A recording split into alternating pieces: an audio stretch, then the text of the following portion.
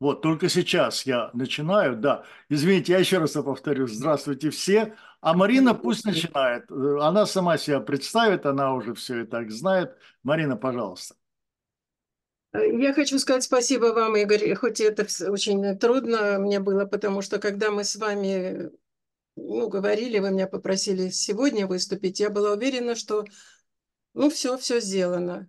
Но э, все пришлось переделывать, потому что слайды пришли, и, в общем, захотелось полностью уже вам выложить все, а дальше посмотрим, как это вам придется или нет. Я начинаю. Спасибо всем, кто пришел. В книгах по истории искусства что делать? Сейчас, одну секунду. В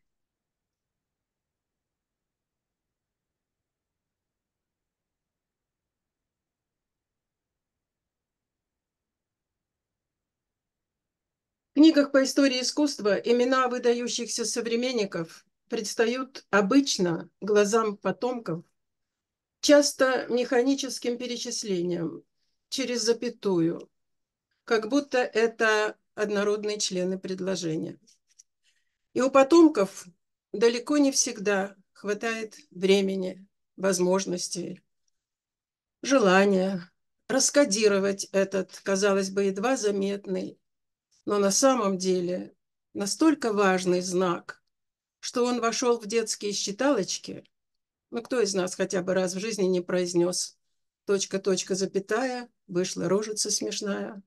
Кто не помнит горбатую старуху, прислуживающую самому глаголу в стране невыученных уроков?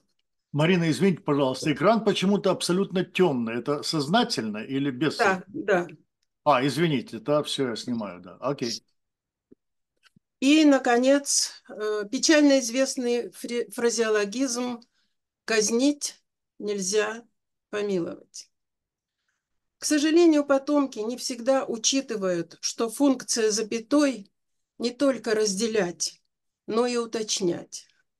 Стоит только заменить запятую на соединительный союз «и», и, боже мой, сколько тайны открытий, сколько драгоценных свидетельств скрывается за ним. Ведь за каждой парой имен могут возникнуть совершенно неожиданные переклички, а то и особая человеческая история. Я всегда радуюсь за тех исследователей в любой области знаний, кому, подобно кропотливым археологам, удается, говоря поэтически, дойти до сущности прошедших дней, до их причины, до оснований, до корней до сердцевины. Начиная рассказ о моем непростом пути поиска возможных творческих перекличек между Цветаевым и э, Прокофьевым, я бы хотела сначала оговорить несколько важных моментов. Ну, во-первых, доклад мой предполагался из двух частей. Сегодня прозвучит только первая, к истории одной встречи. Второе. Прокофьева, Прокофьева и Цветаеву писали очень многие художники. И некоторые портреты э, художников включены в видеоряд наряду с фотографиями. Я хотела э, сказать, что практически все цитаты я брала из дневника Прокофьева. Вот два таких тома. Он э, всю жизнь э, писал э, вот так вам видно, да, наверное? Ну, неважно. В общем, вот таких два тома. И этот дневник, конечно, был спасен чудом, потому что в 1938 году, когда он последний раз имел возможность выехать за рубеж, он все-таки этот дневник спрятал в Америке в сейфе. Потому что практически все дневники или сами авторы уничтожали, или, например, как Брюсов, э, он вел дневник на древнегреческом языке. А когда обрадовались, что нашли его и начали его расшифровывать, оказалось, что он жутко ругает советскую власть, так что его опять запрятали. Ну и, наконец, э, самое, пожалуй, главное, мой рассказ будет перемежаться рядом отступлений разного рода.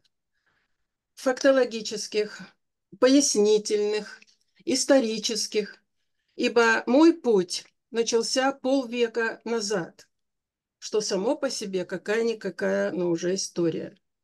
Ну и, наконец, личных.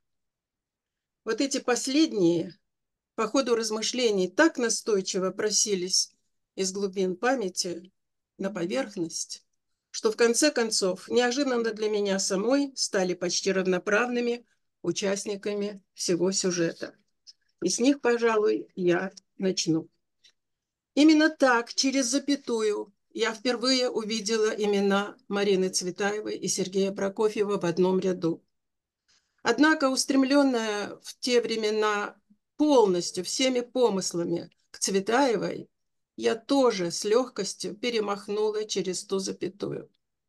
Но могла ли я тогда представить, что сегодня на другом конце земли снова, словно в спиритическом сеансе, буду тревожить их души, пристально вглядываясь в маленькую закорючку между ними, в надежде найти ответы на все продолжающие возникать вопросы.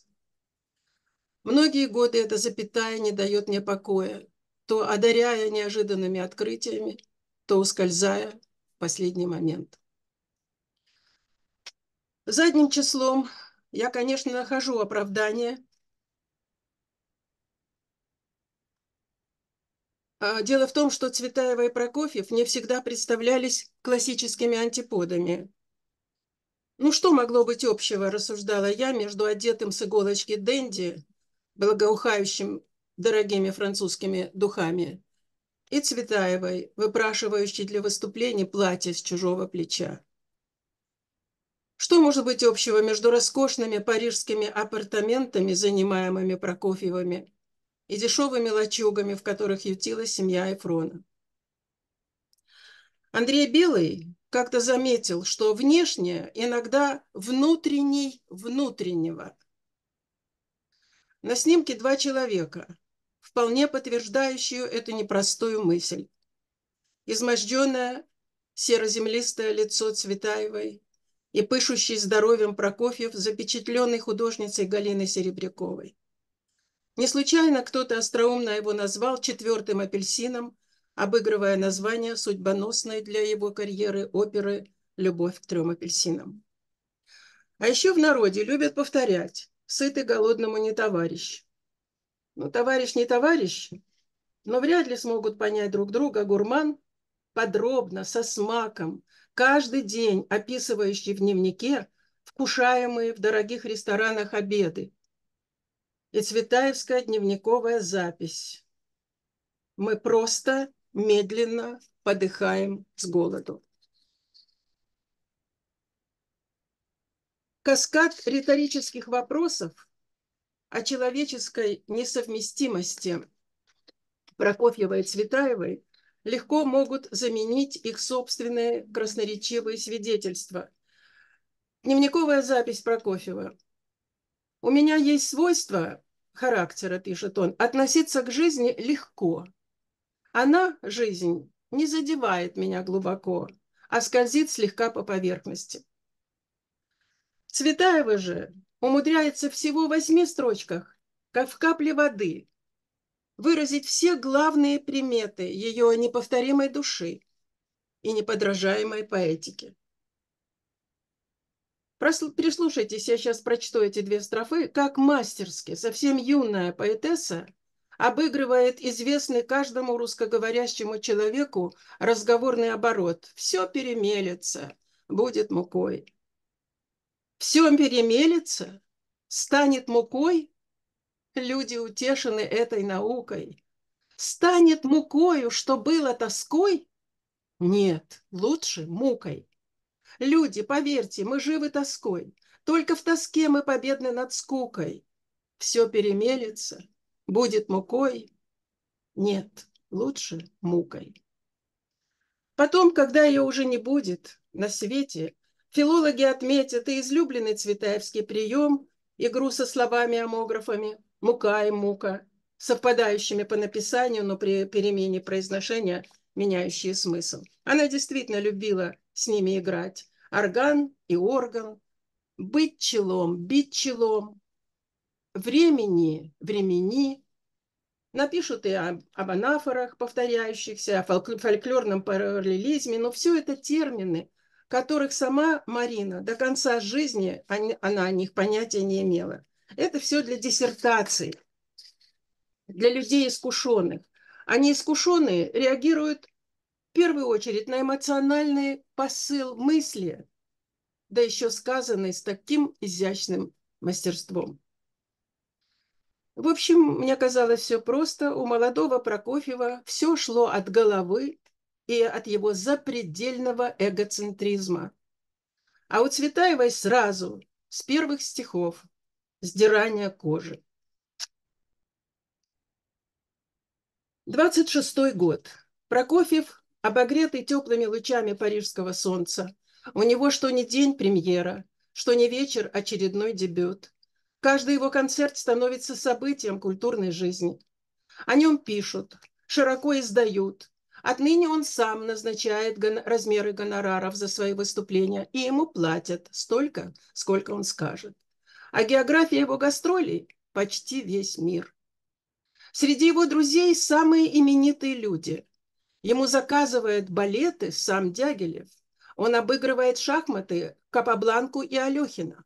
Он дружит с художниками Бенуа и Петровым Водкиным. Вот этот знаменитый карандашный портрет Прокофьеву подарил автор Анри Матис. На вопрос Прокофьева, почему вы мне сделали такое длинное лицо, художник ответил, для того, чтобы передать ощущение вашего роста. Короче говоря, Прокофьев, похоже, имел все основания повторить за Хемингуэем, Хемингуэем «Париж – это праздник, который всегда с тобой». Но Цветаева вряд ли бы подписалась под этим. В том же 26-м году, в том же Париже, она пишет душераздирающее стихотворение, исчерпывающе подытоживая, подытоживая сказанное выше. Я бы хотела, чтобы мы сейчас попробовали прочесть его вместе. Это непростое стихотворение. Давайте попробуем. Эм, вы все видите, да? Тише хвала, дверью не хлопать, слава, стола, угол и локоть. Сутолочь, стоп, сердце, уймись, локоть и лоб, локоть и мысль. Юность – любить, старость – погреться, некогда быть, некуда деться – хоть бы закут, только без прочих. Краны текут, стулья грохочут, рты говорят, кашей во рту благодарят за красоту.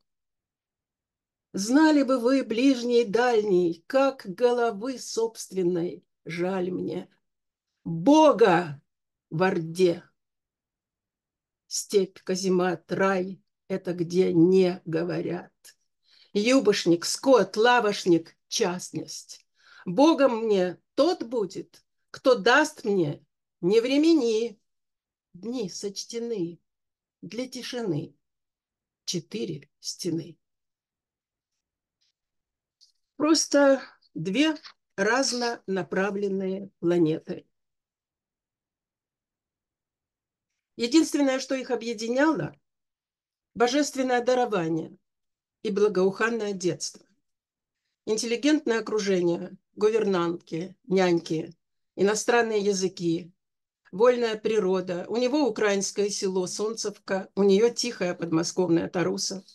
У обоих детство, напоенное музыкой. Обе мамы владели э, роялем, любили от них и тех же композиторов, и дети привыкли засыпать под звуки Шопена, Бетховена, Шуберта. У обоих очень рано проявился дар. Она в четыре года начала рифмовать слова. Может быть, будет поэтом записывать в дневнике мать. А он в пять лет написал пьесу, которую его мама старательно переписала в альбом под названием «Индийский галоп» и дала ему номер, опус. А он в подарок на Рождество заказывает клавир Вагнера. Она заказывает принца и нищего и Ундину Жуковского.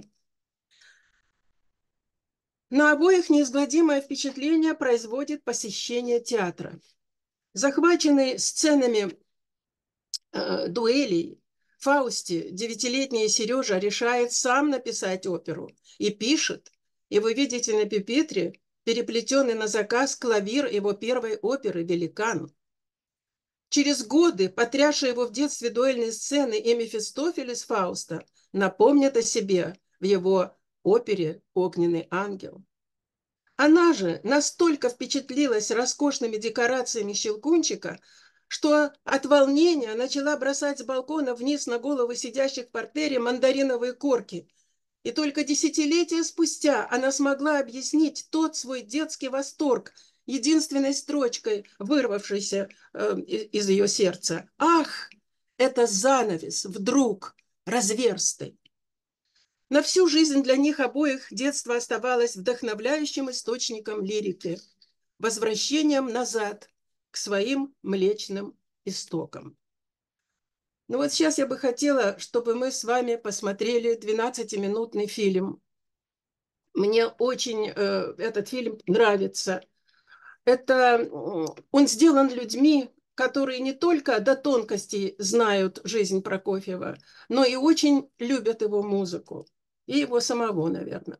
Так как фильм буквально соткан из очень значимых деталей и за 12 минут пролетает, так сказать, очень быстро, для тех, кто не так подробно знаком с биографией Прокофьева, позвольте несколько пояснений сделать. Фильм называется «Сказки старого пианино». Во-первых, это отсыл к пьесе из детского альбома, очень известной, все дети ее играют, «Сказки старой бабушки». Во-вторых, само пианино. Это в самой первые две, одну-две минуты фильма. Э, э, пианино – это не менее важная часть творчества Прокофьева, чем его композиции. Из рецензии 27 года в газете «Ленинградская правда» написано «Прокофьев – блестящий пианист, но есть область, в которой Прокофьев, конечно, не имеет себе равных. Это исполнение собственной музыки. Только под пальцами Прокофьева, пианиста, Прокофьев-композитор получает полное и совершенное выражение».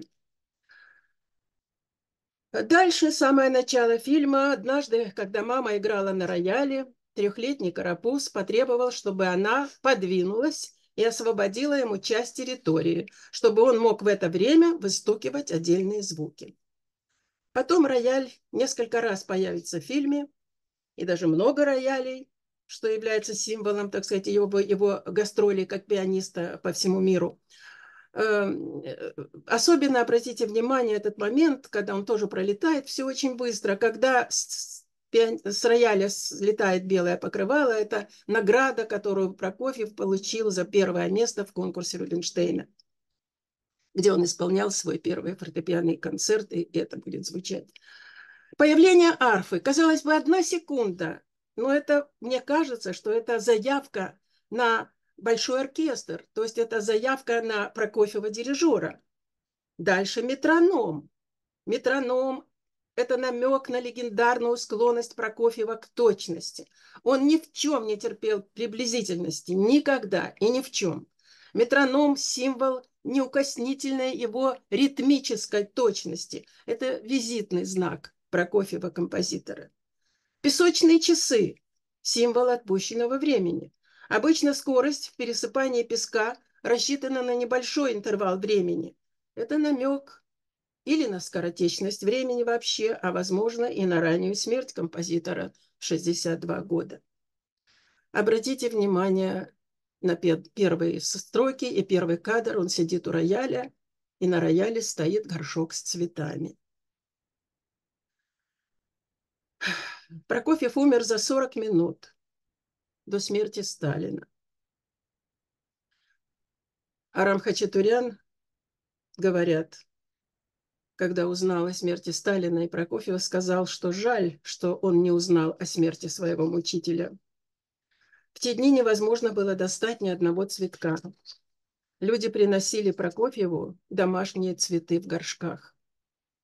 Только Рихтеру удалось где-то раздобыть одну сосновую ветку. Апельсины – лейтмотив фильма. Сочные, яркие, то они весело пляшут, то безжалостно их раздавливает толпа. Для меня это намек на решение покинуть революционную Россию. Одежда всегда матроска, пока он ребенок, как на всех детских фотографиях. И, наконец, не пропустите, постарайтесь этот момент, когда Прокофьев приходит за визой к Луначарскому. Луначарский ему говорит, что это во всех учебниках наших написано, музыкальных, о том, что почему вы уезжаете, мне не хватает свежего воздуха, ну как, разве вам тут у нас не хватает? Нет, в общем, хорошо, вот вы революционер в музыке, мы революционеры в жизни, и нам нужно идти быть вместе. Вот в этот момент, на буквально миг какой-то секунды, появляется на стене как бы тень Мефистофеля или черта, или дьявола. Ну вот это важный очень для меня э, такой элемент, потому что все, как бы так сказать, то, что объявлено у нас как главная тема, Прокофьев как советская трагедия, вот мне кажется, что это именно на этот э, момент. Дело в том, что это может быть либо намек на сделку с большевиками, либо это предзнаменование его внутренней мучающей трагедии, до конца не понимающего, правильно ли он поступил, вернувшись в Россию. Песня, которая прозвучит, маленькие фрагменты, это обработка народной песни самим Прокофьем. Он сделал несколько циклов таких, э, которая, значит, вот является символом как бы России. Обратите внимание на моменты, связанные с Сергеем Эйзенштейном. Обратите внимание на пальцы Прокофьева. Прокофьев в зале просматривает э, кадры, которые уже сделал Эйзенштейн, но они еще без музыки. И он пальцами стучит по, по ручке кресла, и тонкие, хорошие такие пальцы, чувственные. Э, понятно, что он уже он ритм выбивает, он уже слышит эту музыку. Почему это важно? Потому что через несколько секунд на экране появятся страшные пальцы – очень отличающиеся от Прокофья пальцы Сталина, которые повторяют как бы тот же жест, но очень неуклюже. И я ничего не могу с собой поделать, как вот передо мной стоит трагедия Эйзенштейна, который умер в ночь, когда было опубликовано постановление 48 года от инфаркта, от разрыва сердца, потому что он знал, у него были основания, и тем более Сталин, ему не понравился фильм, а для Прокофьева это была тяжелейшая потеря, потому что это был один, один из самых-самых близких его доверенных друзей. И вот кто-то рассказал Сталину, кто-то донес Сталину, что во время собрания у Жданова э, вот этот вот, так сказать, щеголь э, Прокофьев явился в лыжном костюме и в бурках.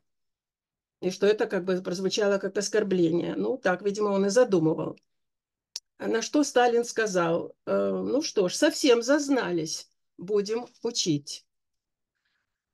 Э, поэтому вот, вот этот кусочек с э, Эйзенштейном я рассматриваю как и пам пам дань памяти режиссера и трагедии вот Прокофьева. Ну, наконец, «Бессмертный марш» из трех апельсинов – это визитная карточка Прокофьева, как и сами апельсины, которые постепенно превращаются в огромное солнце, символ бессмертия солнечной музыки Прокофьева.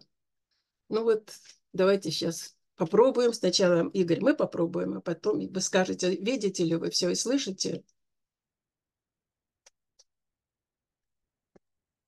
Да, хорошо, давайте, начинайте. Сейчас.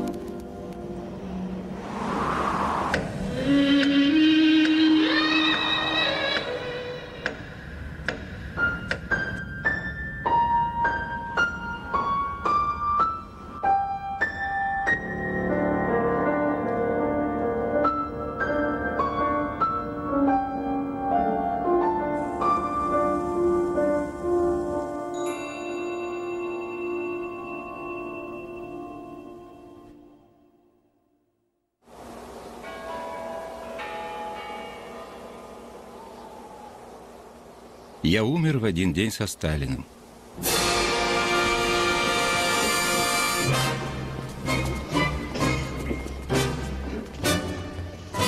На моих похоронах были только родственники и друзья.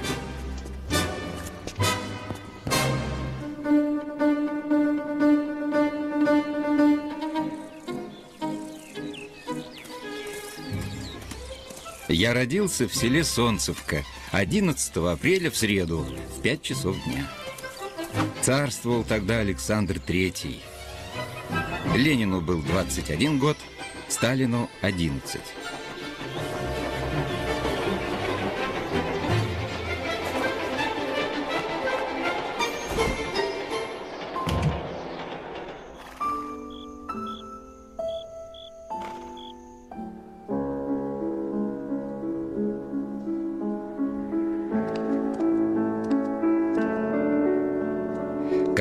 Мать играла лунную сонату, я просил отвести в мое пользование две верхних октавы и выстукивал на них свои детские экзерсисы.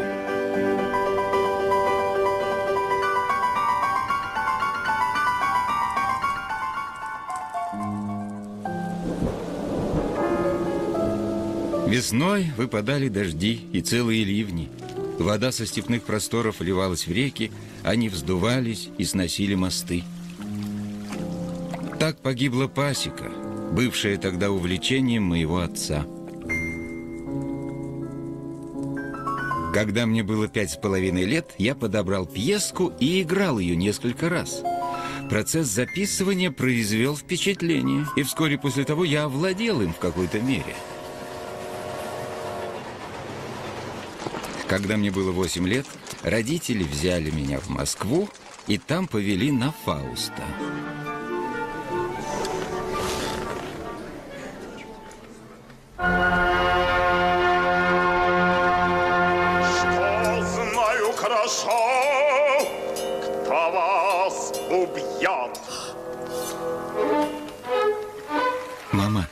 Хочу написать свою оперу.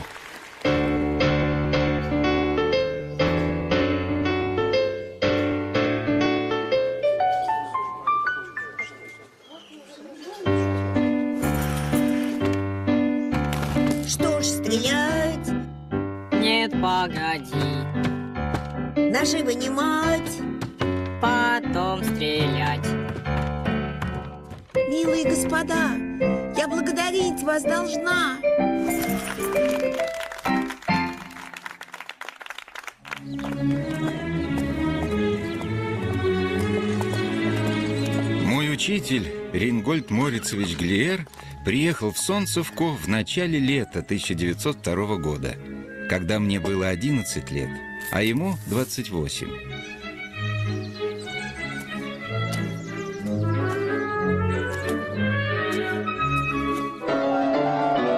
По вечерам Глиер сажал меня за рояль, брал скрипку, и мы играли.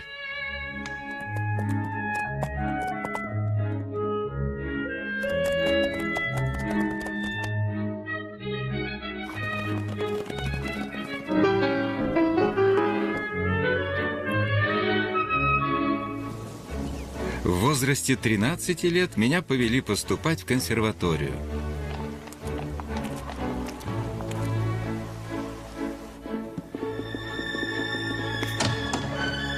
Господин Прокофьев, войдите.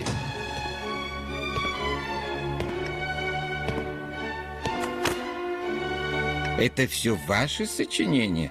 Мои? Садитесь и сыграйте.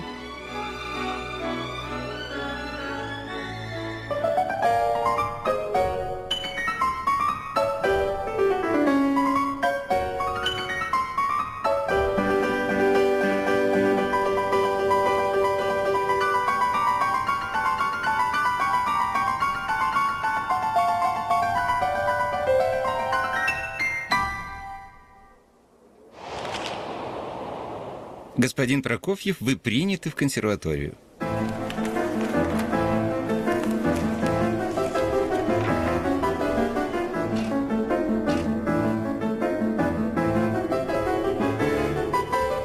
Не понимаю, почему вы у меня учитесь?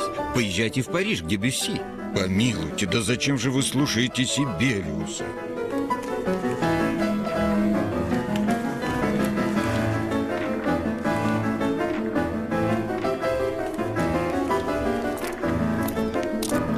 Настроение у меня в то утро было смутное. И почему меня сегодня занесло сюда? Я боялся за плохой исход конкурса.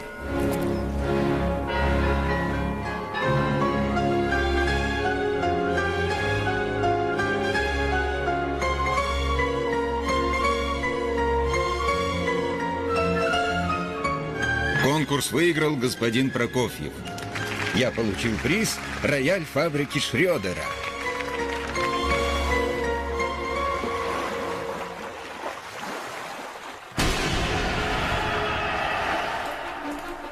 Об Октябрьской революции известия довольно сбивчивые. Всюду восстание большевиков.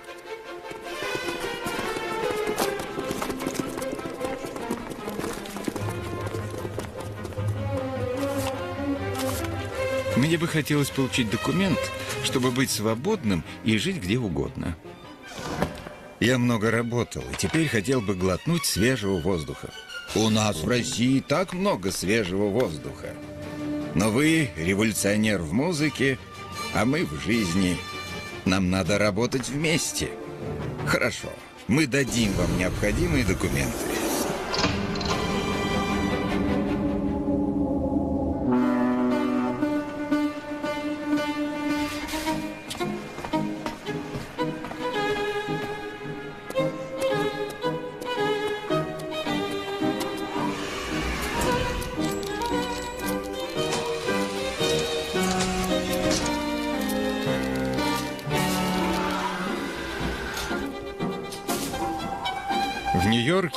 Чрезвычайный.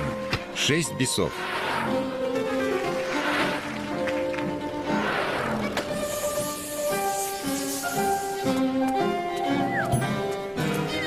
Прочитал «Любовь к трем апельсинам». Здорово. Можно кое-что сделать.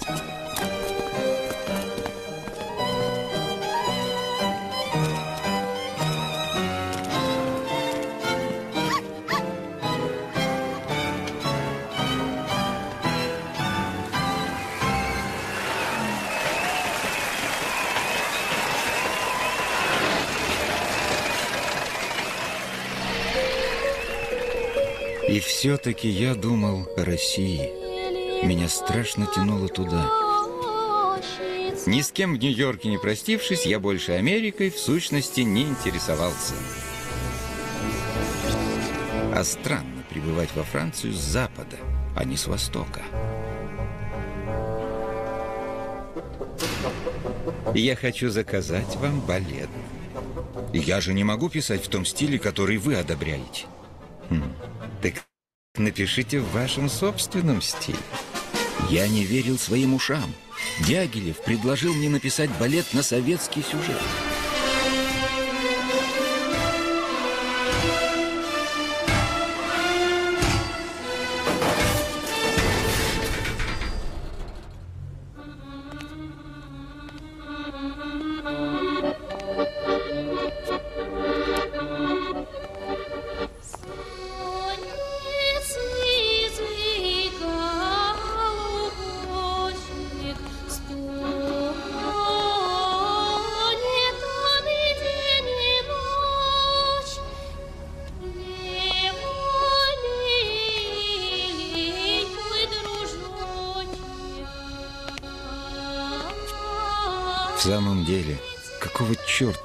Здесь, а не в России, где мне самому гораздо интересней?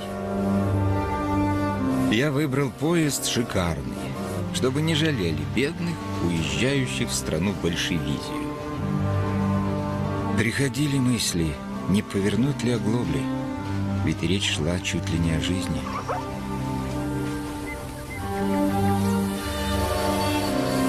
За время моего отсутствия, оказывается, я сделался довольно знаменитым.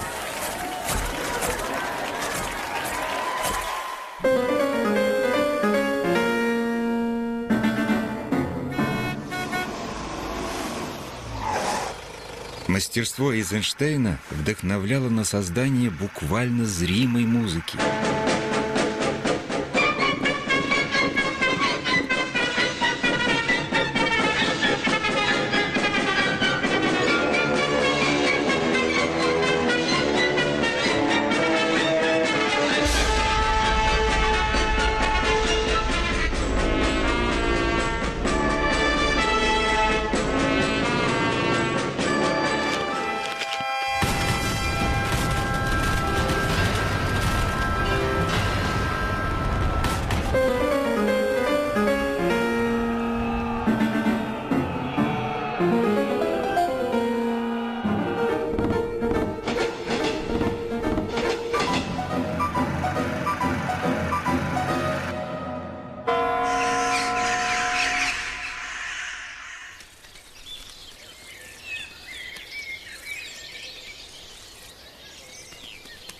Еще одна последняя страница, и кончена симфония моя. Я умер в один день со Сталиным. На моих похоронах были только родственники и друзья.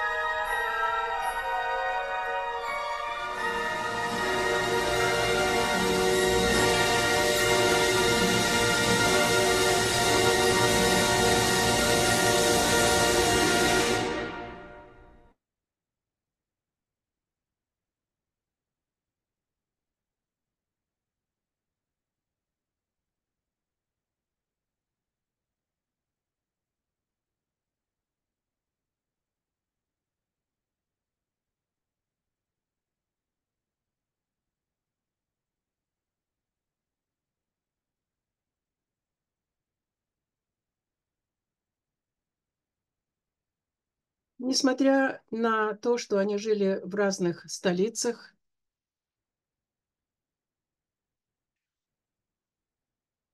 я знаю.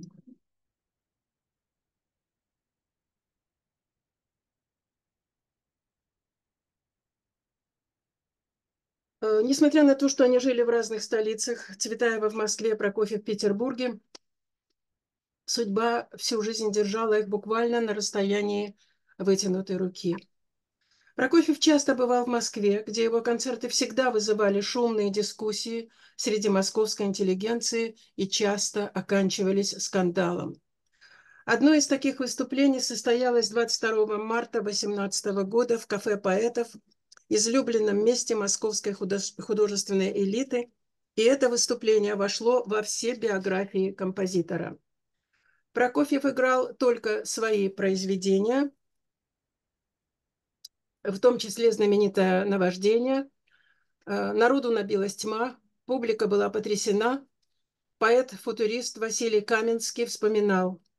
Казалось, что в кафе происходит пожар. Рушатся пламенеющие, как волосы композитора, балки, косяки. А мы стоим, готовые сгореть заживо в огне этой неслыханной музыки.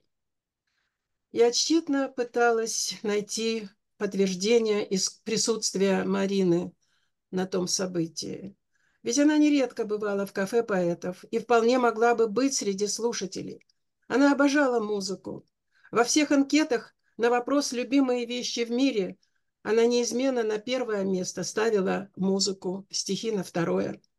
Но даже если ее там и не было, до нее должны были дойти слухи о так поразившем всех 26-летнем музыканте. От кого же?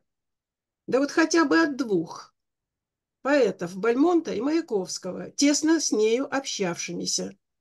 Откуда мы знаем, что они там были? Из записи в деревянной книге. А вы знаете, что такое деревянная книга? Краткая библиографическая справка. Я лично отношу деревянную книгу Прокофьева к еще одному его оригинальному произведению, заслуживающему быть отмеченным в каталоге его сочинений отдельным номером. Книга и сочинялась, как любой прокофьевский опус. Идея, выбор жанра, техническая задача и воплощение на нотной бумаге, в данном случае дизайн. Идея будущей книги осенила Прокофьева неожиданно, когда он ехал в поезде – а что, если записать в одну тетрадь автографы великих и интересных людей? Может получиться замечательный альбом, отмечает он в дневнике. Значит, идея определила жанр. Альбом для великих людей, записи великих людей. Жанр вроде не новый. В русской культуре он имел долгую историю, от невероятной популярности в пушкинское время до полного исчезновения при Сталине. Здесь будет к месту вспомнить знаменитую Чекоколу, задуманную молодым Корнеем Чуковским за два года до Прокофьевской деревянной книги.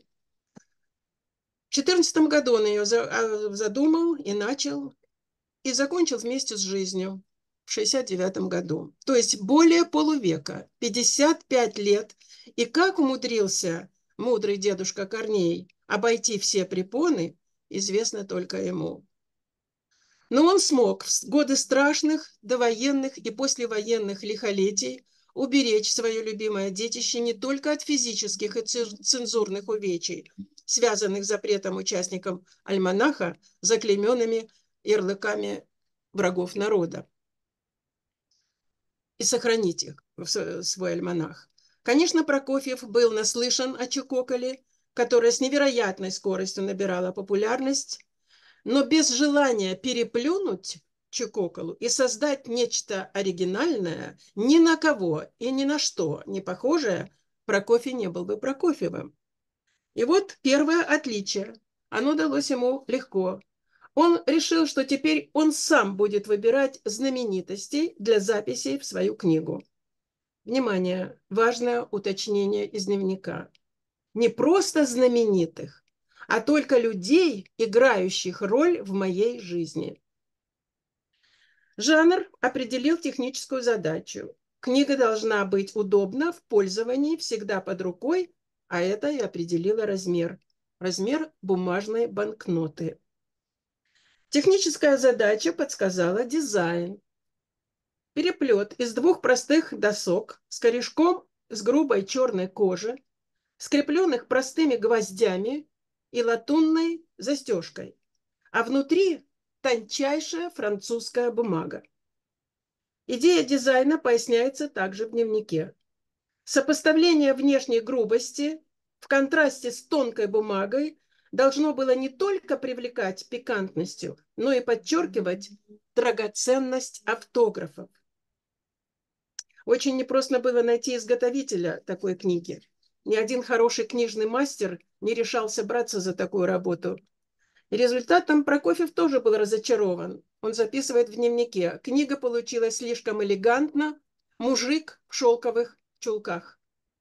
Но она была оригинально и изящна. И главное, деревянная, записывает он. Ну вот определилось название. Деревянная книга Сергея Прокофьева. Теперь осталось главное – избежать сходства с альбомом института, как он говорил. Мы видим первое, э, первую запись 16 года, в день праздника Солнца. Э, это запись э, не музыканта, а шахматиста, партнера э, Прокофьева по шахматам Бориса Демчинского.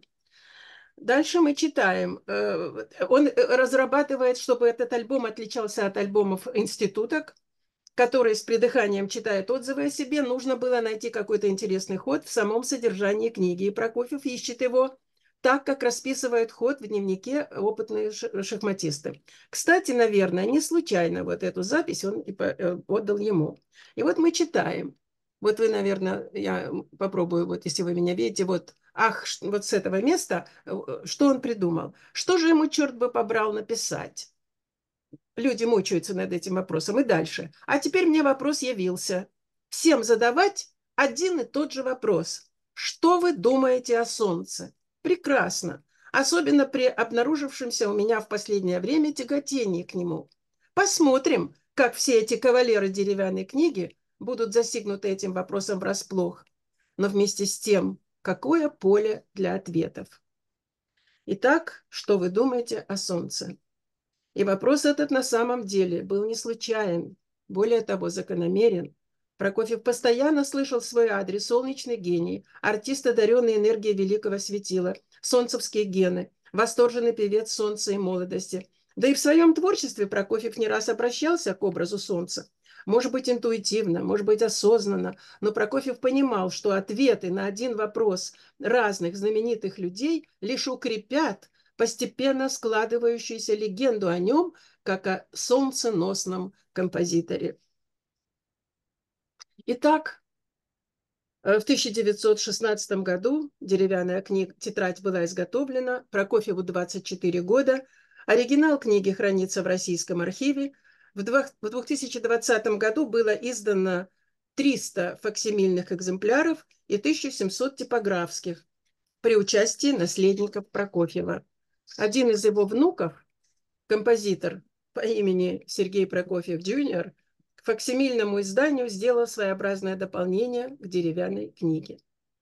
Ну, как я уже говорила, деревянная книга была всего на два года младше Чукоколы, прожила в 10 раз меньше – при этом став не только неповторимым художественным библиоартефактом, не только источником информации о композиторе и его окружении, но и бесценным культурно-историческим документом XX века. За шесть лет существования в ней оставили автографы 48 выдающихся людей XX века. Шаляпин, Стравинский, Петров Водкин, Тэфи. Э, Анна Достоевская, Ремезов, Пришвин, Алехин, Капабланка – Ларионов и Гончарова, Мясковский, Маяковский, Рубинштейн, э, ну и множество других. Первая запись, мы уже о ней говорили. А на последней странице запись виолончелиста Евсея Белоусова, профессора Джульярдской школы, исполнявшему виолончельные произведения Прокофьева. А помните, вначале я сказала, что этой деревянной книге нужно присвоить номер опуса. И когда я это писала, я вспомнила, какое впечатление на меня и на посетителей музея квартиры Льва Толстого в Хамовников произвели вот эти лайковые сапожки, сделанные собственноручно Львом Николаевичем. Они выставлены в кабинете писателя и стоят на книжной полке, завершая полное собрание его сочинений, как пример его мастеровитости не только в написании романов, и я уверена, пока не обнаружатся какие-нибудь неизвестные сочинения Прокофьева, его деревянная тетрадь или книга должна быть внесена в каталог его сочинений и стоять пока под последним номером 132. Но вернемся в кафе поэтов. В контексте сказанного меня особенно интересовали два участника встречи, Бальмонт и Маяковский, так как они оба были дружны и с Прокофьевым, и с Цветаевой. От них она могла узнать подробности об этом выступлении. Между Бальмонтом и Прокофьевым были тесные творческие и человеческие отношения. Они посвящали друг другу произведения, проводили совместные концерты. Прокофьев сочинил много музыки на стихи Бальмонта и посвятил ему изумительный фортепианный цикл «Мимолетности», Восхищенный талантом молодого Прокофьева, после очередной встречи 9 августа 17 года Бальмонт оставляет в его деревянной книге знаменитый автограф с обращением «Ребенку богов» Прокофьеву и первыми строками посвященного Прокофьеву сонета «Ты солнечный богач, ты пьешь, как мед, закат, твое вино – рассвет, твои, твои созвучия в хоре торопятся принять в спешащем разговоре цветов, загрезивших невнятный аромат. Второе имя – Владимир Маяковский. На Прокофьева произвело большое впечатление выступление Маяковского в Петрограде. И в тот же вечер он играл свои новые пьесы в знаменитом кафе петербургской богемы «Бродячая собака». За одним из столиков сидел Маяковский, что-то увлеченно рисуя, а в конце вечера Прокофьев получил шарж на себя с такой надписью «Уважаемый Сергей Сергеевич, который играет на самых нежных нервах уважаемого Владимира Владимировича». А уже из дневниковой записи Прокофьева мы узнаем, что в тот же вечер поэт подарил ему экземпляр «Войны и мира» Толстого с такой подписью председателю земного шара от секции музыки, председатель земного шара от секции поэзии. Прокофьеву Маяковский. А 22 марта 18 года, вот в тот самый знаменитый московский концерт, когда, куда, когда приехал э, Прокофьев эм, перед тем, как он отплывал в Америку, прощаться со, со своими друзьями-футуристами, Маяковский записывает в деревянную книгу отрывок из поэмы «Облако в штанах». «От вас, которые влюбленностью мокли, от которых в столетие слеза лилась, Уйду я, солнце моноклем, моноклем вставлю в широко растопыренный глаз.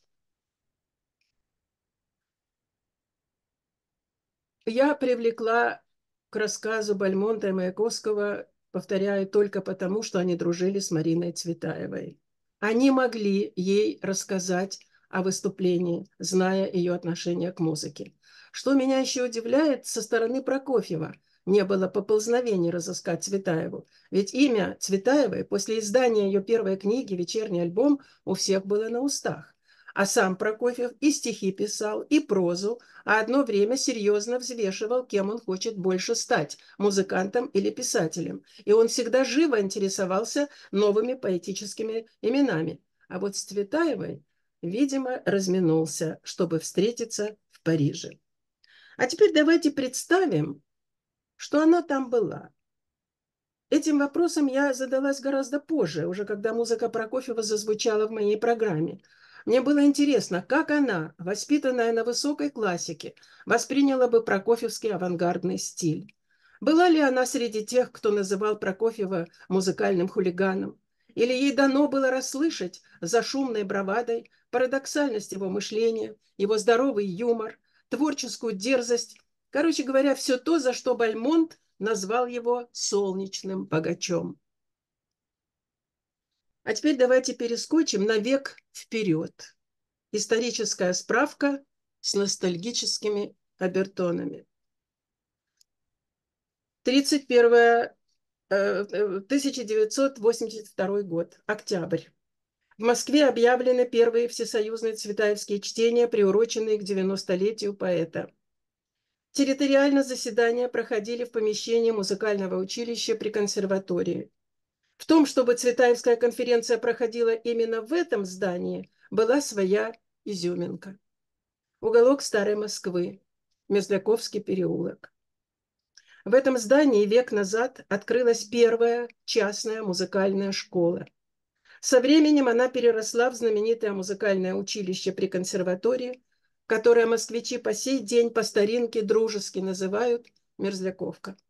Упомянутая изюминка заключалась в том, что именно в этот дом маленькую Марину приводила мама на уроки музыки. Мама, мечтавшая сделать из нее профессиональную пианистку. Школу основала 25-летняя выпускница Сергея Ивановича Танеева Варвара Зогров-Плаксина, соученица сестер Гнесиных последовавших через три года ее примеру и основав знаменитое Гнесинское училище.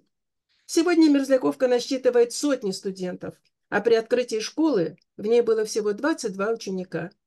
Валентина Юрьевна вела класс фортепиано, и среди ее первых учениц была и семилетняя, шестилетняя, вернее, пришла в шесть лет Муся Цветаева.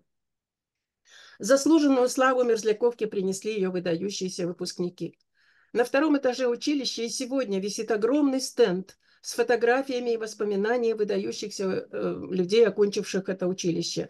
Это Рахманинов, Скрябин, Кабалевский, Карен Хачатурян, Геннадий Гладков, Владимир Мартынов, э, композитор, Рихтер, Станислав Нейгаус, Игорь Жуков, Александр Майкопар. Ну, в общем, насколько я сейчас вспоминаю, там еще был и Леонид Ройзман. Ну, в общем, очень много людей. Я называю только тех, кого я лично знала по работе или дружески. И на этом стенде особо выделяется знакомая фотография двух девочек, под которой цитата из Цветаевского эссе о Валерии Брюсове «Герой труда». Мне было шесть лет – я только что поступила в музыкальную школу Зогров Плаксиной, старинный белый особнячок в Мерзляковском переулке на Никитской. В день, о котором я говорю, было мое первое эстрадное выступление. Партнер Евгения Яковлевна Брюсова, сестра Валерия Брюсова, жемчужина школы и моя любовь. Школа Зограф Плаксиной – важная глава в биографии Цветаевой. Вот послушайте, как это первое эстрадное выступление Марины описалось спустя жизнь двумя годами младшая Ася. Ей было семь лет. Старшие потом говорили, что, чувствуя только рояль и себя, она начала было привычно считать вслух раз и, два и, но, увидев знаки Валентины Юрьевны, стала играть без счета. Я же никого, кроме нее, не видела. Я не сводила с нее глаз. Я не понимала, как до сих пор я не видела ее такой, не восхищалась и не гордилась ею.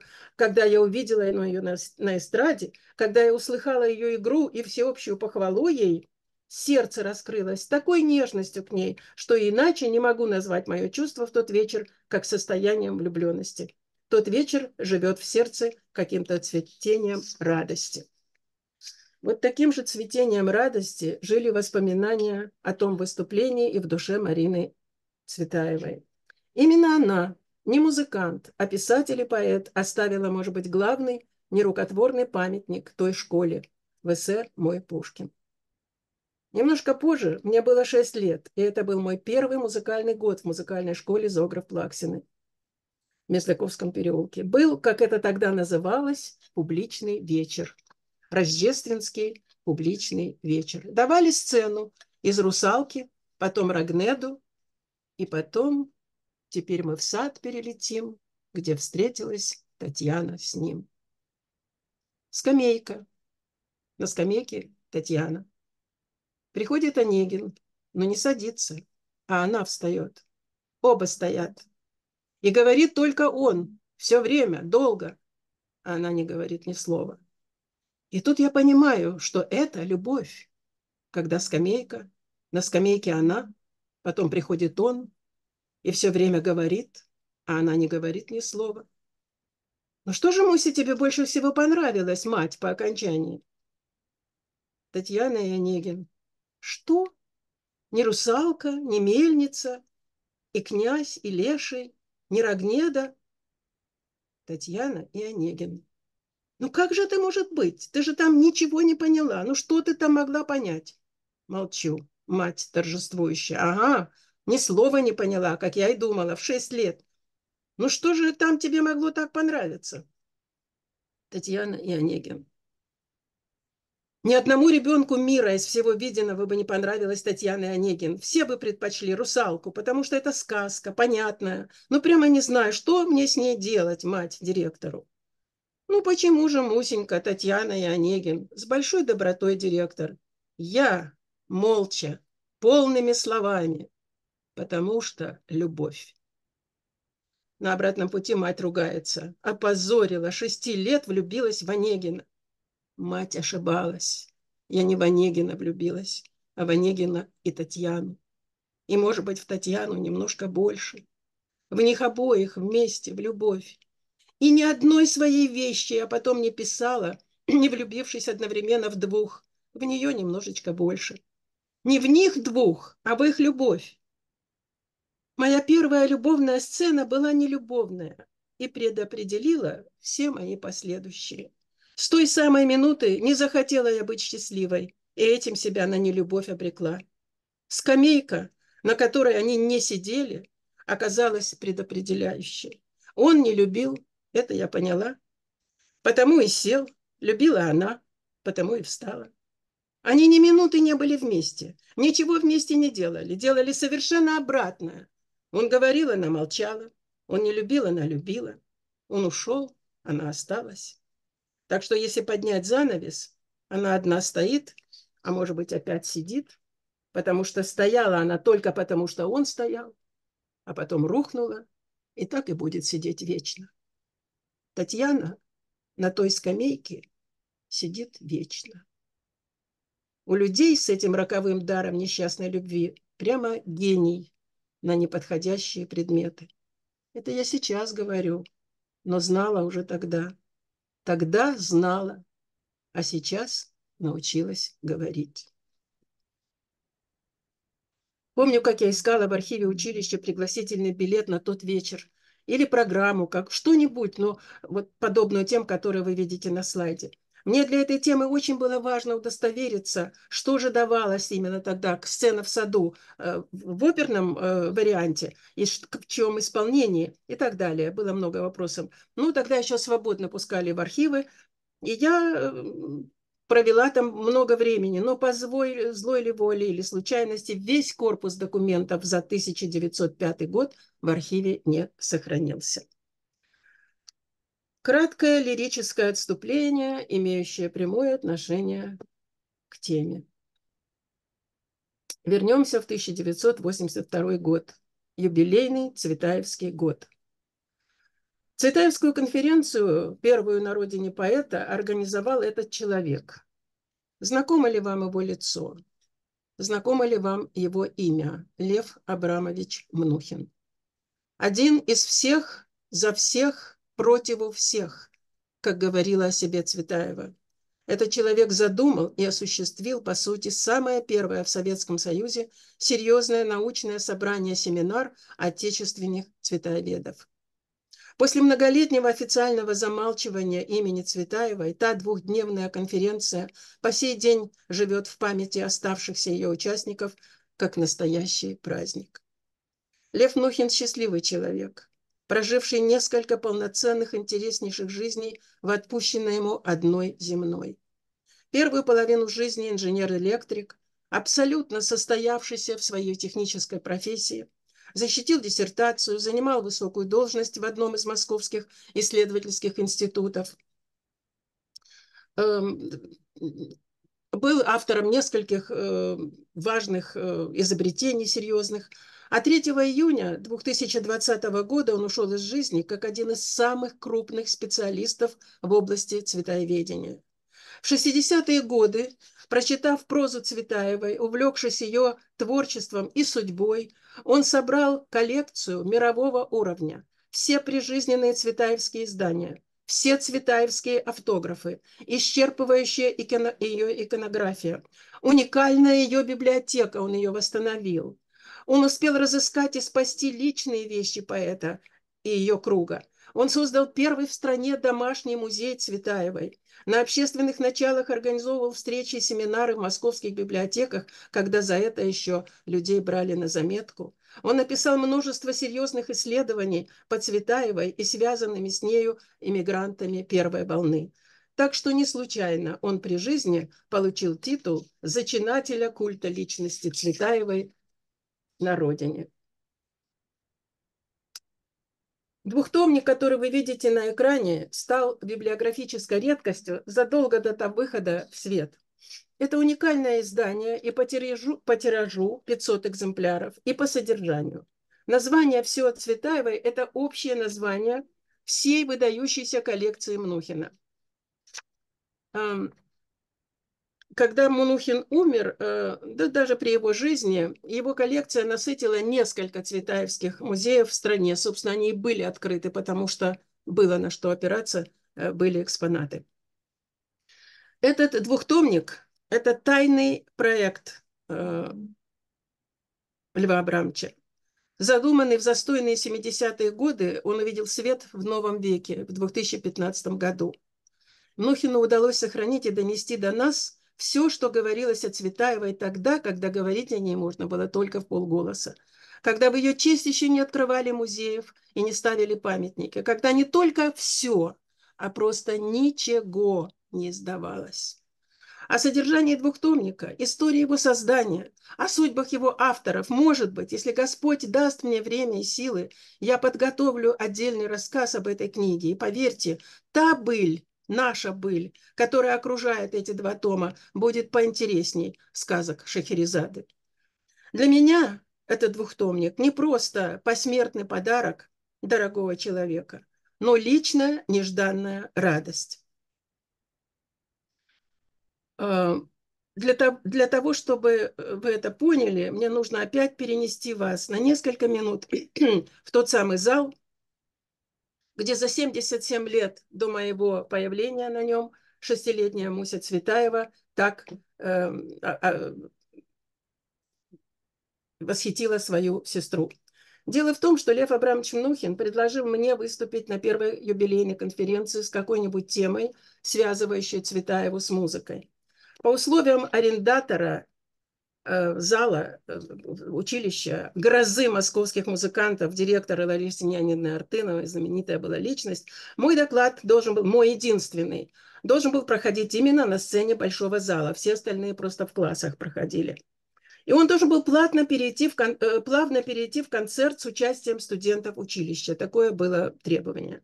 Льву Абрамовичу ничего не оставалось, как повиноваться, потому что ни один Московский творческий союз еще не был готов предоставить свой зал такого уровня Цветаевскому мероприятию. Это было мое первое участие в научном э, мероприятии, поэтому мое выступление было не докладом, а импровизацией лектора – Никакого текста у меня не было вообще. Я понятия не имела, что вообще должен был какой-то текст быть, что его потом надо послать организаторам для будущей публикации и так далее. Видите, я держу в руке листок с именами выступающих студентов. Поэтому, когда я стала получать поздравления с включением моей статьи в столь раритетное издание, я не поверила. Я думала, что это какая-то подстава.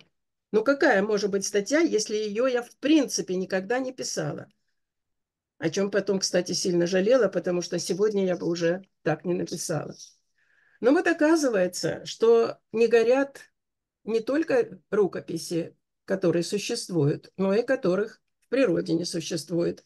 И вот спустя 40 с лишним лет я держу в руках полный текст моего выступления. Оказывается, Лев Абрамович подпольно записал все выступления на магнитофонную пленку, и ночами тайно он их расшифровывал, поджидая удобного момента для публикации. Он был уверен, что прошлое еще впереди. Эта надпись Цветаева сделана на одной книге. И каждый текст в двухтомнике предваряет фотография докладчика с места события, так что я получила дополнительный бонус. Такого свидетельства у меня никогда не было, а вот теперь есть. И вот именно тогда, в октябре 82 года, еще находясь на сцене, меня осенило, какая благоуханная тема «Цветаева и музыка». И это был день рождения моей авторской концертной программы «Я родилась не в жизнь, а в музыку». Программа состояла, состояла из э, двух частей. Мы с этой программой, с артистами филармонии, объездили всю Москву и многие города страны, вплоть до моего отъезда в эмиграцию в декабре 1989 года. Вот это пригласительный билет на первую часть «Музыка в жизни Марины Цветаевой». Те из вас, кому знакома биография Цветаевой, легко могут представить, что первая часть особых проблем не создавала. Музыкальная классика в окружении трогательных детских и юношеских стихов Цветаевой всегда была желанной и принималась слушателями с благодарностью. А вот со второй частью Марина Цветаева в жизни музыки дело обстояло иначе – если к песням Михаила, песням э, Михаила Таривердиева на слова стиха э, Цветаевой публика аплодировала более или менее охотно, то уже на цветаевские романсы Шостаковича отзывалась скорее формально, из вежливости. Но меня это не смущало. История музыки меня научила, что современный язык в любом виде искусства никогда не становится в одно мгновение фаворитами масс. Во все исторические эпохи новое в искусстве всегда и везде с трудом завоевывало себе право на жизнь в своей же современности. Известно, как трудно пробивалось к широкому читателю и пробивается до сих пор рвущиеся, а не льющиеся, то есть не ласкающие слух стихи и поэмы Зрелой Цветаевой. И натяжкой было бы утверждать, что к творчеству Сергея Прокофьева в полном его объеме уже протоптана народная тропа. Бунт, с которым он ворвался в русскую музыку, дерзко нарушив его, ее плавное течение, уже давно стал достоянием билетристики. Стальные пальцы, стальные запястья, стальные бицепсы, стальные трицепсы – это не музыка, а какой-то звуковой стальной трест. А парижские рецензенты пошли дальше – когда дочка динозавра оканчивала консерваторию, писали они, то в ее репертуаре был Прокофьев.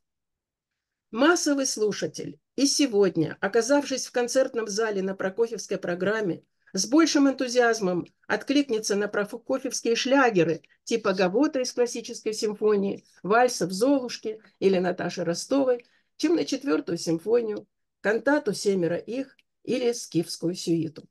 Вот почему во второй части исполнители нашей программы ощущали себя менее комфортно, чем в первой, хотя любили ее не меньше. Мы понимали, что вот в слуховой обиход рабочей, армейской, школьной, ПТУшной и даже студенческой аудитории для неподготовленного уха сродни пощечины общественному вкусу. Трудные стихи Цветаева и позднего периода и музыка советских композиторов-авангардистов раздражали слух тех, кто не смог пойти дальше романсовости и ко всему новому относился с заведомо иронией. Однако риск был непонятыми, а, возможно, и осмеянными, нас не пугал, а, напротив, стимулировал творческий азарт. Поэтому мы бывали вполне удовлетворены, если люди не покидали зал в середине исполнения, сердито хлопнув дверью. Мы были довольны, если удавалось захватить внимание слушателей. И мы были счастливы, когда из зала просили повторить что-то на бис или ждали у вход, выхода, чтобы узнать, где можно достать записи музыки этих композиторов.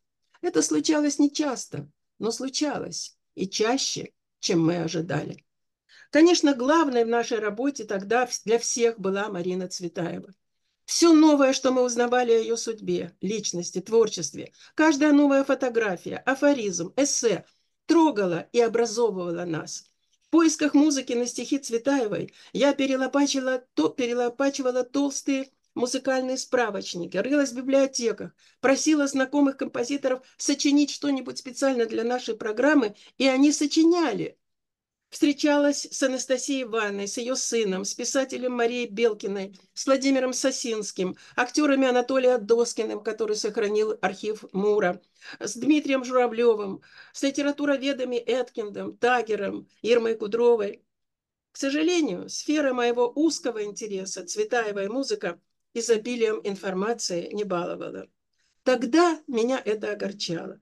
А теперь, спустя 40 лет, я думаю – что, получив все на блюдечке, не было бы в моей жизни радостных минут, когда та или иная догадка неожиданно подтверждалась новым биографическим фактом, или неизвестное ранее высказывание самой Цветаевой было ответом на мучившие вопросы.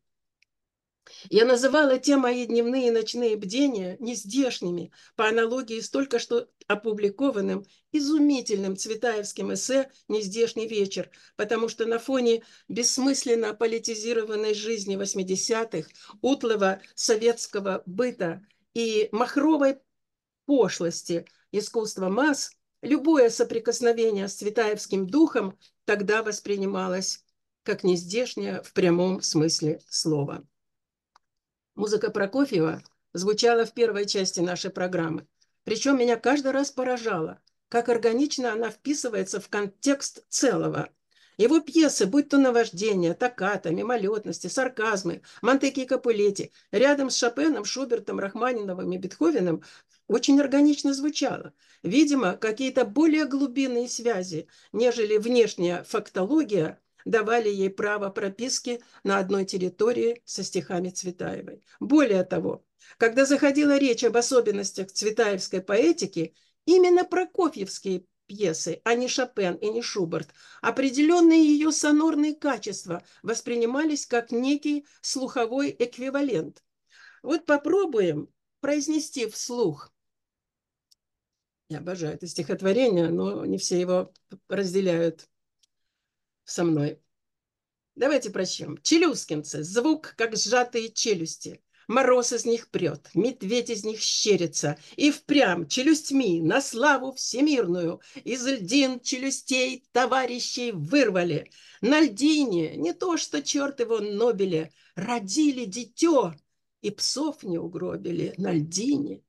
Эол доносит по кабелю, на льдов произвол ни пса не оставили, и спасшие мечта для младшего возраста, и псов, и дитя умчали по воздуху.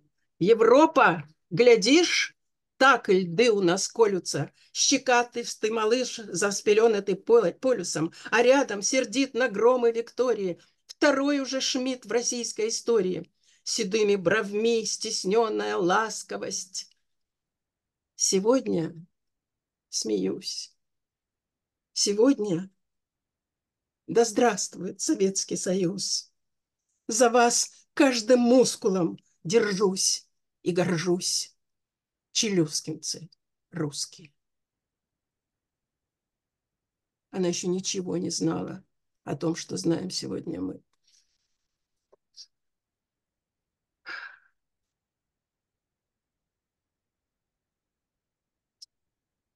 Именно так, через слуховой стресс, они оба, каждый в своей области, Прокофьев и Цветаева, боролись с идущим на поводу пошлости простомыслием. Именно так, через взрыв и взлом, пытались они разбудить заплывающего жиром потребителя массового искусства. Цветаева так и писала. С жиру лопающийся, жир их лоск, что не только что масло едят, а мозг наш. В поэмах, в сонатах, в сводах людоеды в парижских модах. Не верю стихам, которые льются, рвутся, да.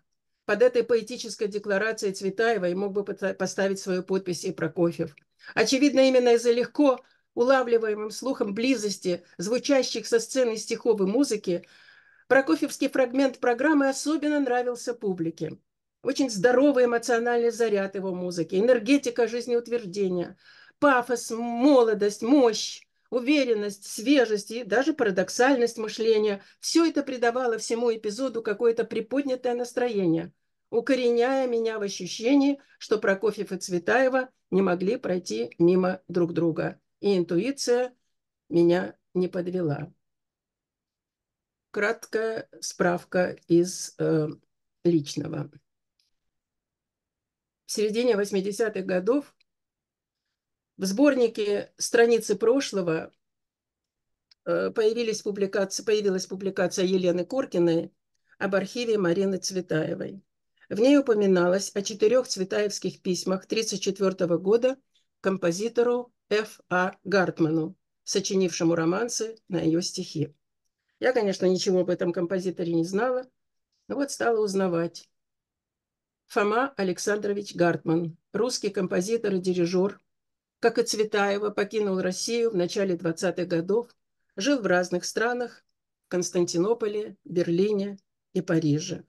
Умер в 1956 году в Америке, работал в Принстоне.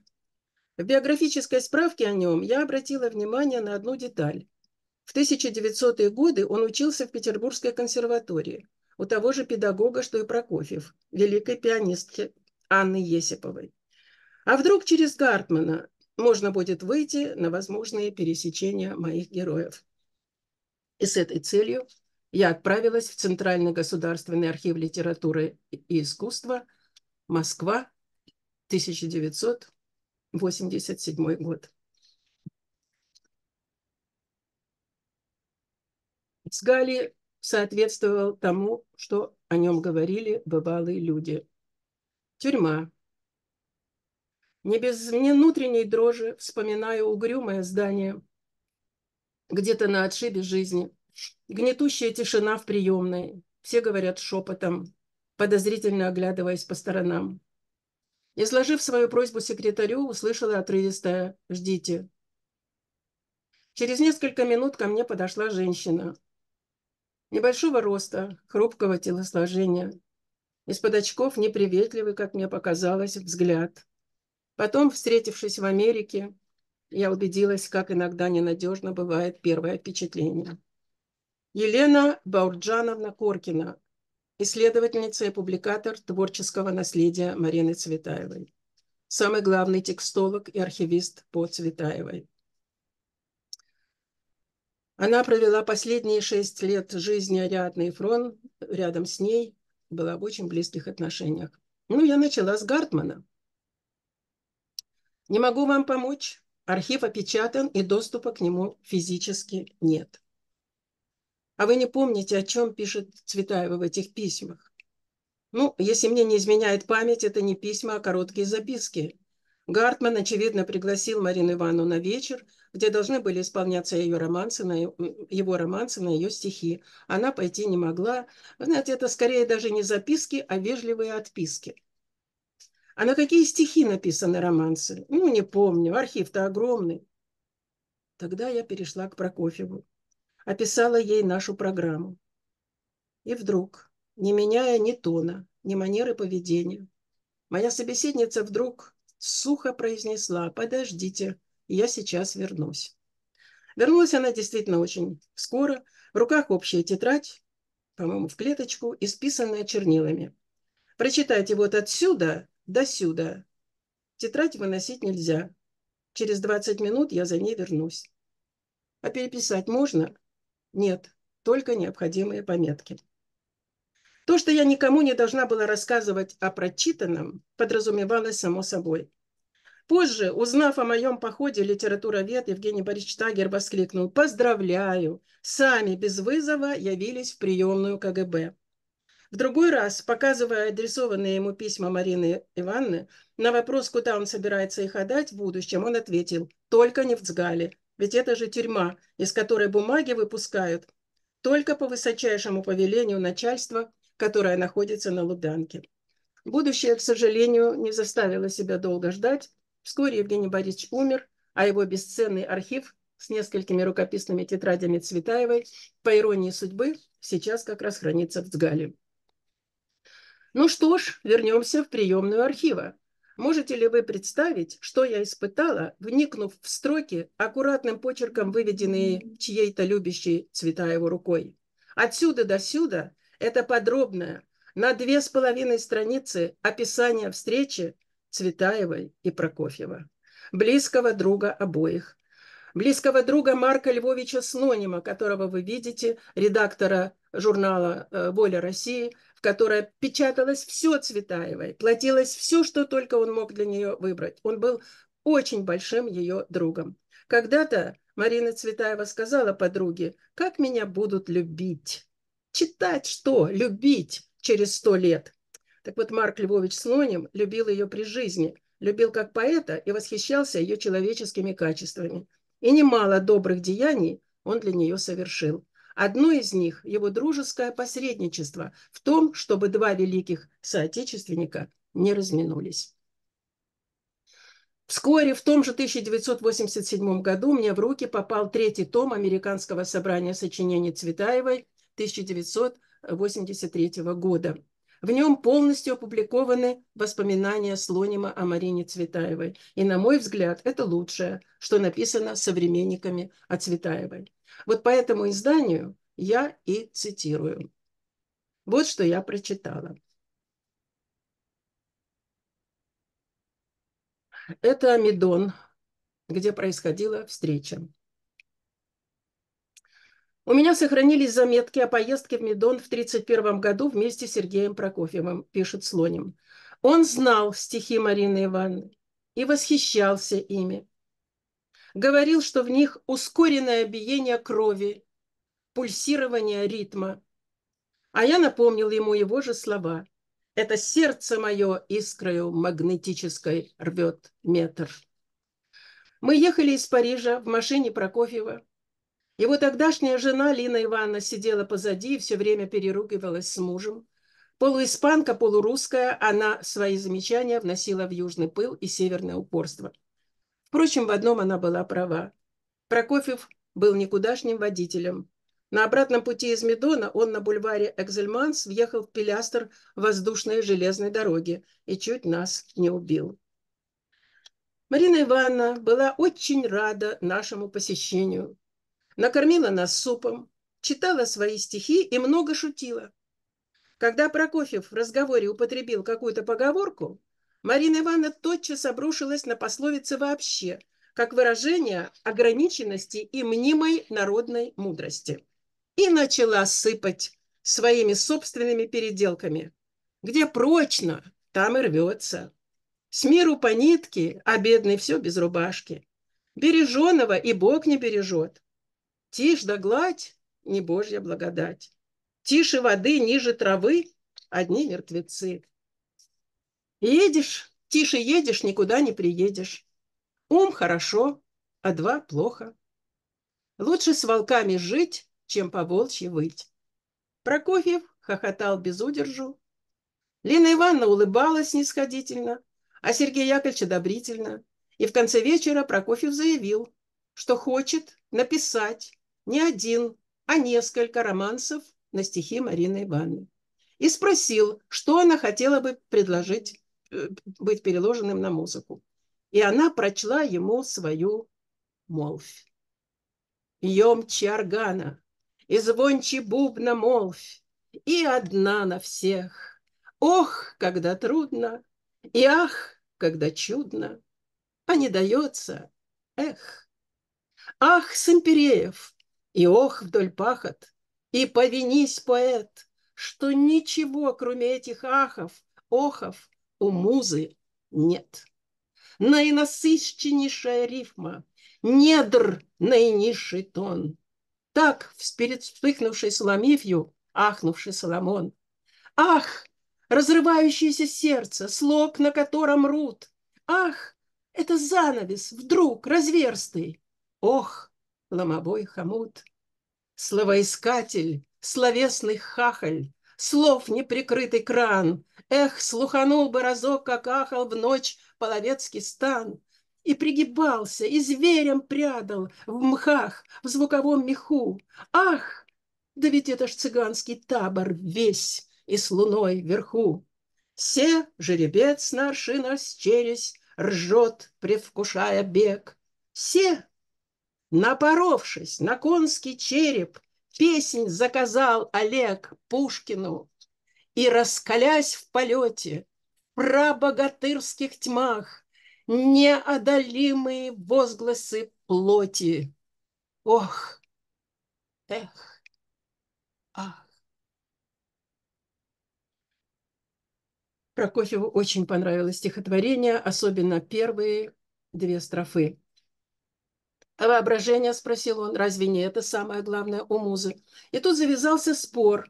Марина Ивановна утверждала, что не одна поэзия, а вся жизнь человеческая движется воображением. Колумб воображал, что между ним и Индией вода, океан, говорила она, и открыл Америку.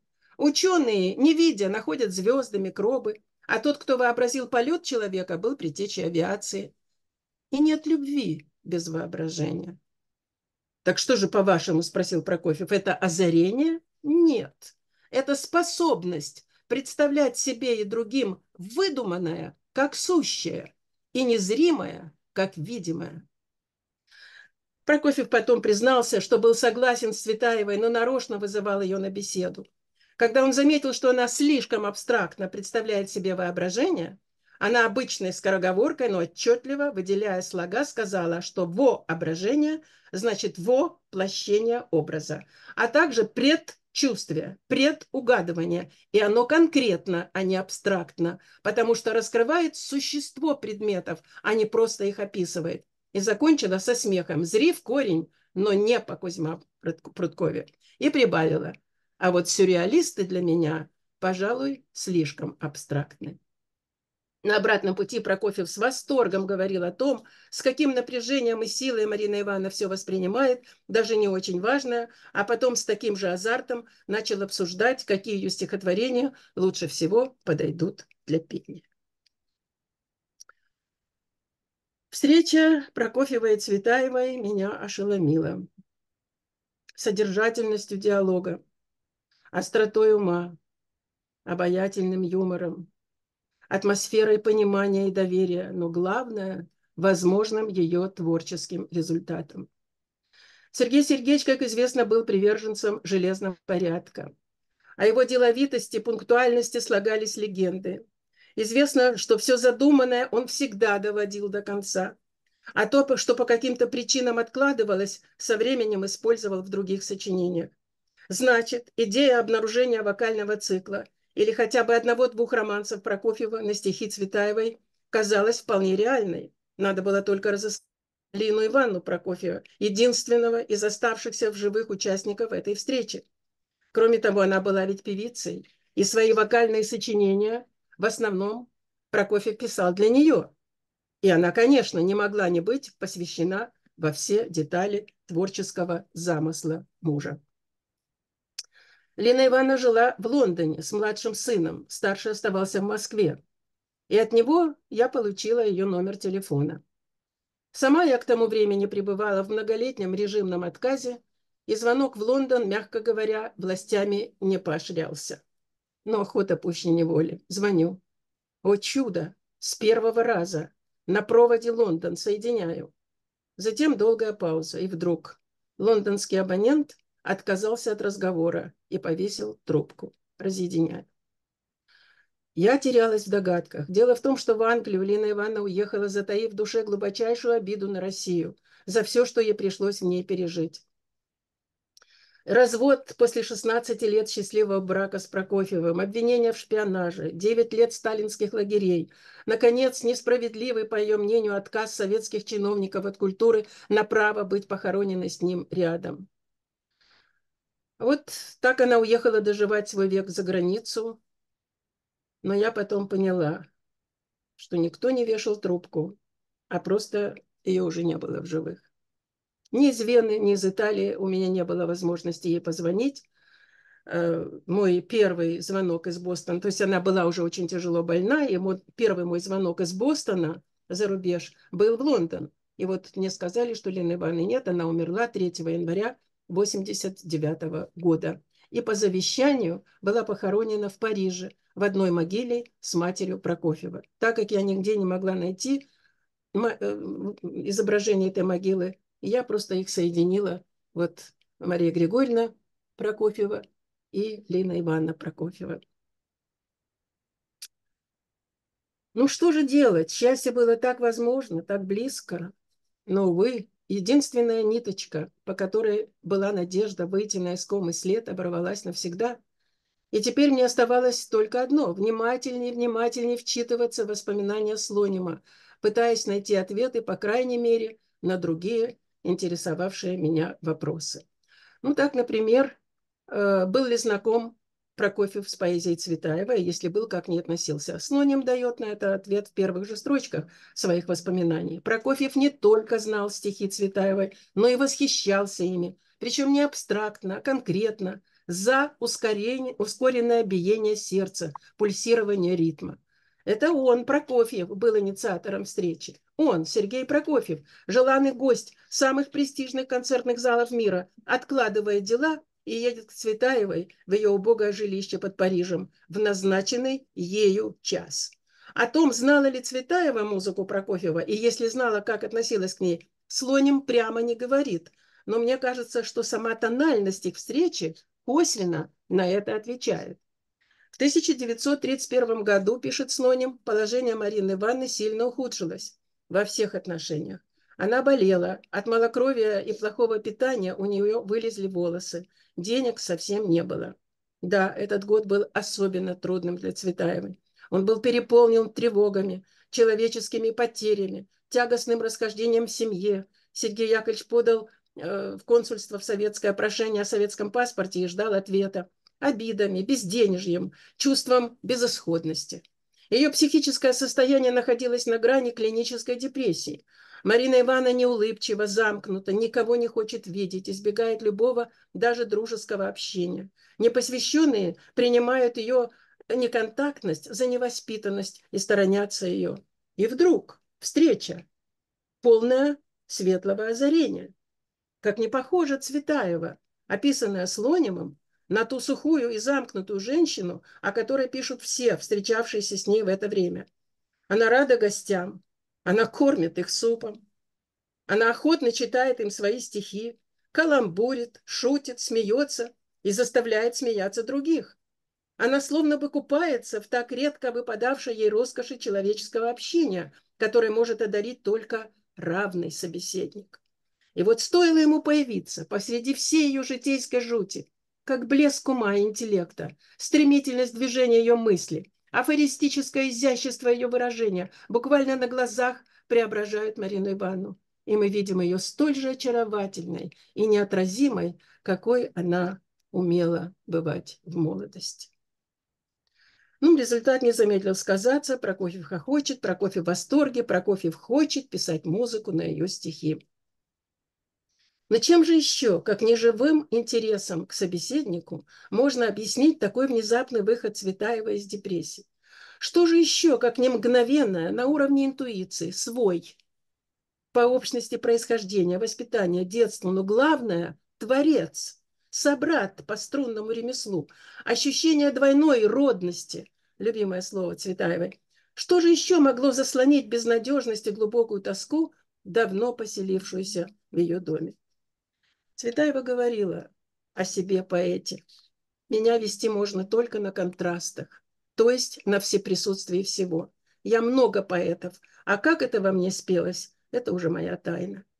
Прокофьеву, прямому антиподу Цветаева и по типу личности и судьбе, безусловно, один из этих многих поэтов, любящий шутку, способный к самоиронии, озорству, творческому бунту, должен был быть ей близок. И, наконец, последнее. Поэты по-разному относятся к использованию своих стихов в качестве подстрочника к музыке. Одним это льстит, другие, как Иосиф Бродский, страдают от чужой интонации, навязанной внутреннему строю его стихов. А третьи сами с удовольствием распевают собственные строки под чужую музыку, как Александр Сергеевич свою черную шаль на мотив Верстовского. Стихам Цветаевой композиторы начали обращаться еще при ее жизни. Сегодня музыкальная цветаевиана – один из самых обширных разделов современной музыки. В ней присутствуют практически все жанры, от симфонии до акапельных хоров, от оперы до авторской песни. В ней представлены сотни имен, от корифеев музыкального искусства до безумян, безымянных голосов из народа, которые в обход строгих запретов одними из первых в России начали распевать стихи Цветаевой под гитару, прокладывая им путь к читателю из народа. К стихам Цветаевой, э, как же сама Цветаева относилась к подобному сотрудничеству? Но не та Цветаева, которая, как я говорила, одной из самых любимых вещей в мире на первое место ставила музыку. Не та, которая называла себя не иначе, как певчей, певицей, а та, которая ценила слово свое не на вес золота, а на вес крови. Не пугало ли ее вторжение другой интонационно-ритмической стихии в ее владение? Я думаю, что живой отклик Цветаевой на желание Прокофьева писать романсы на ее стихи, ее готовность предложить какие конкретно она хотела бы услышать переложенными им на музыку, ну это ли не красноречивый ответ? Но, может быть, подобная реакция, подумала я, была вызвана особым положением Прокофьева, его избранностью, его шумной славой? Нет. И подтверждением тому письма к Фоме Александровичу Гартману, о которых шла речь выше.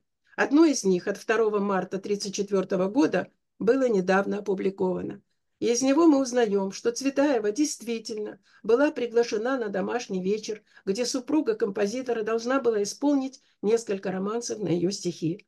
Марина Ивановна не смогла посетить вечер из-за болезни сына, но отношение свое к самому факту обращения композитора к ее поэзии выразила определенно. Вряд ли можно назвать отпиской то, что она написала. А написала она вот что. «С большой радостью и признательностью приеду к вам, послушать вас по моему поводу или себя в вашем восприятии. Сердечный привет вашей жене, заранее радуюсь ее пению. Задолго до встречи с Прокофьевым Цветаева писала, «Человеческая беседа – одно из лучших наслаждений в жизни. Отдаешь самое лучшее – душу, берешь тоже взамен, и все это легко. Я хочу легкости, свободы и понимания. Сергей Сергеевич Прокофьев подарил Марине Цветаевой это редкое наслаждение. Он сумел создать атмосферу, в которой она, пусть на небольшое время, но обрела легкость, свободу и понимание.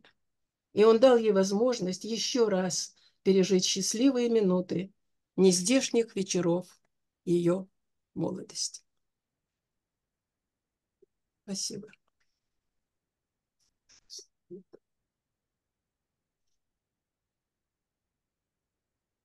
О, Да, Марина, спасибо большое.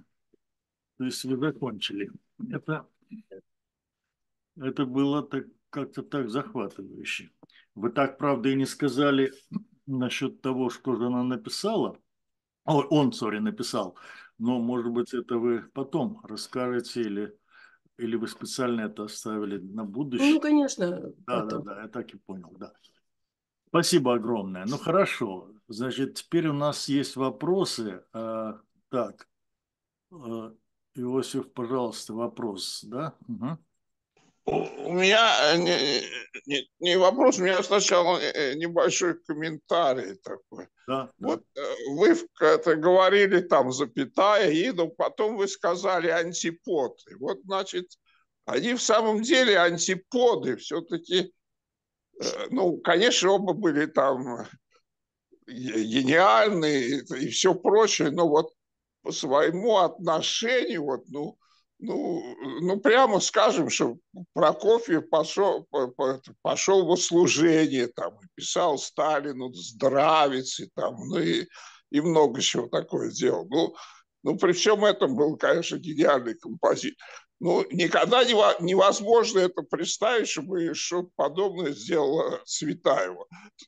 То есть вот все писали там, там ну, здравицы, не здравицы, но писали там и, и, и, и Пастернак, там, и Мандельштам, там, и, и Ахматова. Ну, Ахматова, может быть, вынуждена была, но все-таки не- невозможно представить, чтобы Цветаева что-то подобное сделал. То есть, ну, в то же время это вот тот союз И, который вы говорите, конечно, что-то в них есть, вот в их, ну, я не знаю, вот в, му- в музыке Прокофьева и в музыке стиха э, Мон- э, Цветаевой можно, наверное, ну, найти сопоставление. Но все-таки вот я не знаю, написал, я не слышал, во всяком случае, написал он эти романсы или там какие-то, значит, свои сочинения на, на, на стихи Цветаева. Но он писал на, на стихи э, э, Бальмонта. И это очень характерно, вот, потому что э, вот это то же самое, «Буди- «Будем ли солнце». Бальмон тоже, конечно, очень большой поэт, но такой, знаете, поверхностный, не, не, так, не глубокий поэт. То есть нельзя вообще это какие-то параллели проводить, хотя Цветаева любила Бальмонта, но никакие сопоставления, не, по-моему, не подходят. И вот э, мне кажется, что Прокофьев, как композитор, ну, хотя очень, конечно, это, современный в то время, а вообще не- необыкновенно современный в то время, даже сейчас кажется, что современный, он все-таки не глубокий, не, не- нет у него такой глубины, ну, ну может быть, как где-то есть, но, по-моему, все-таки нету. И вот, э, вот что вы на этот счет думаете?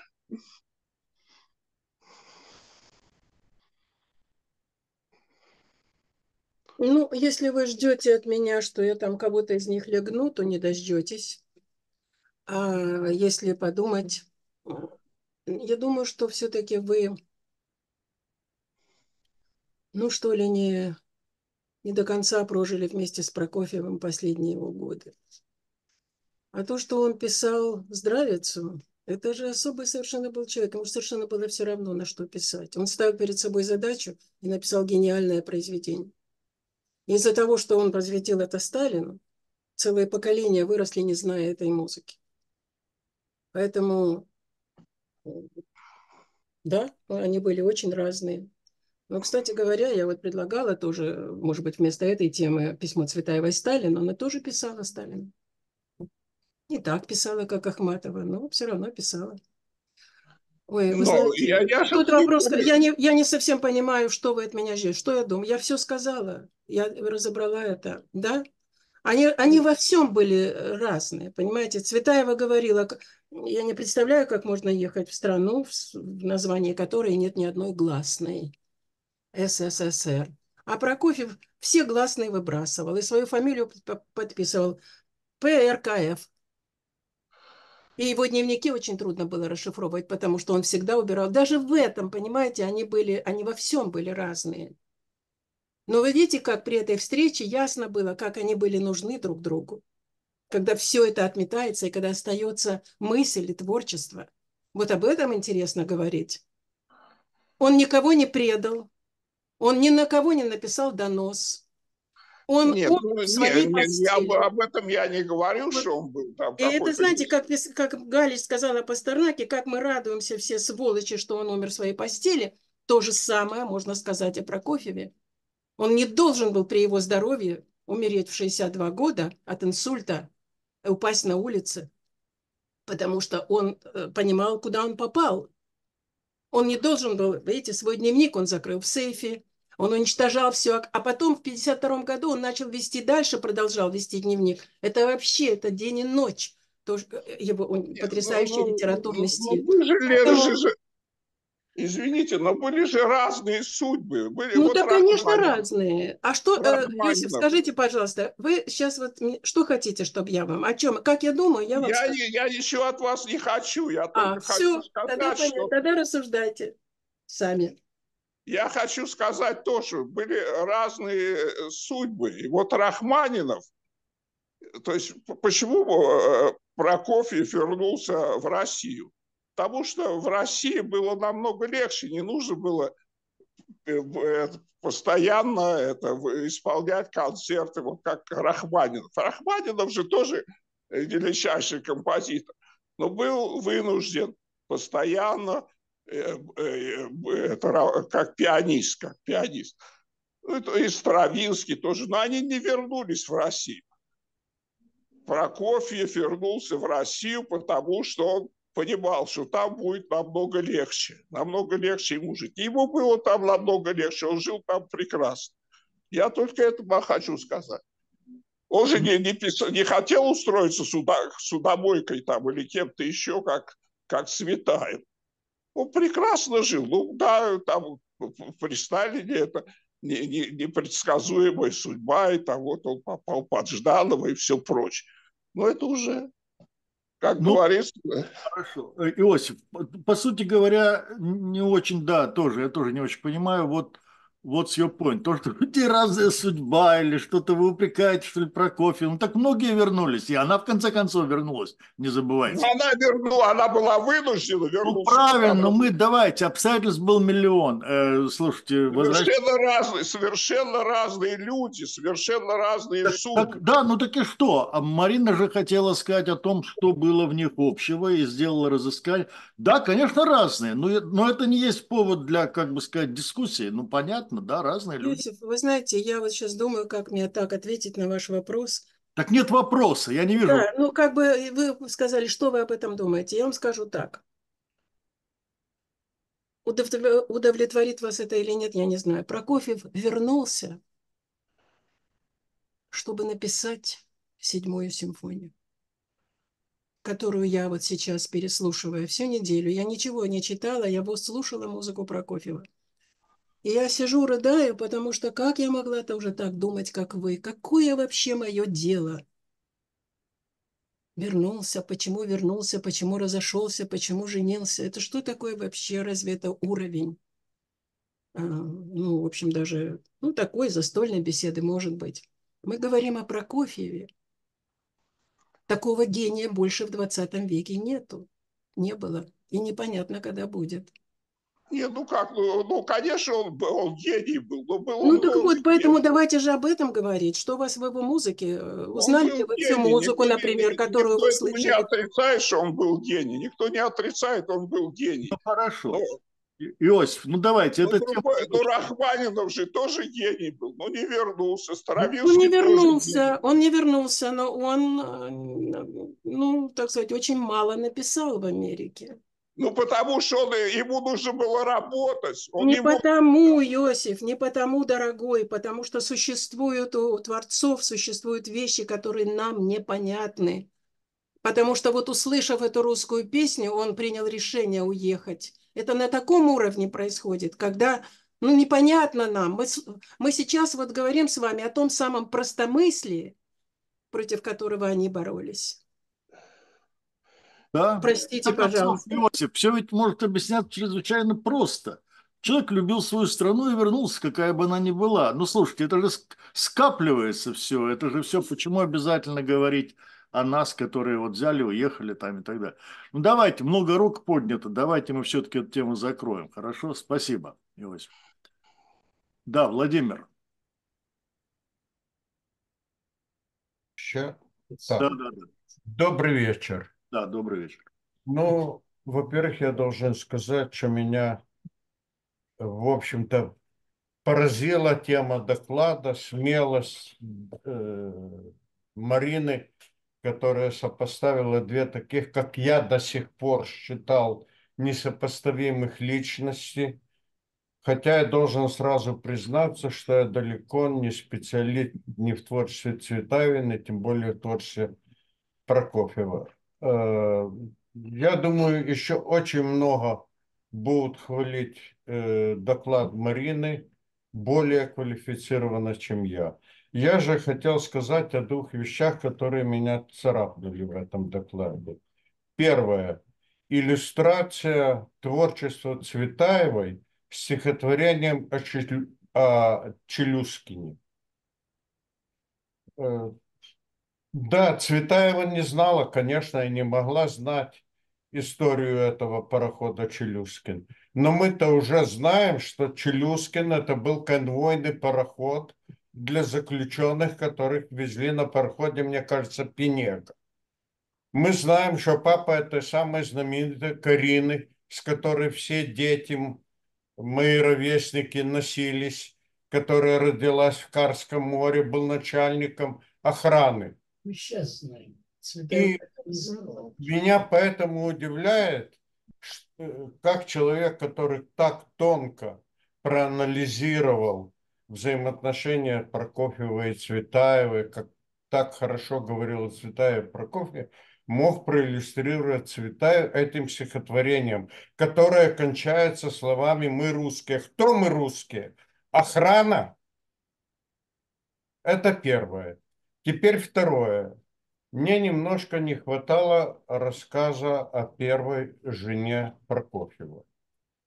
И вы знаете, Марина, когда вы сказали вскользь, что она уехала в Лондон к младшему сыну, я подумал, что это очень хорошо, что вы о ней не вспоминали, потому что и особенно, когда вы сказали, что Прокофьев никого не предал.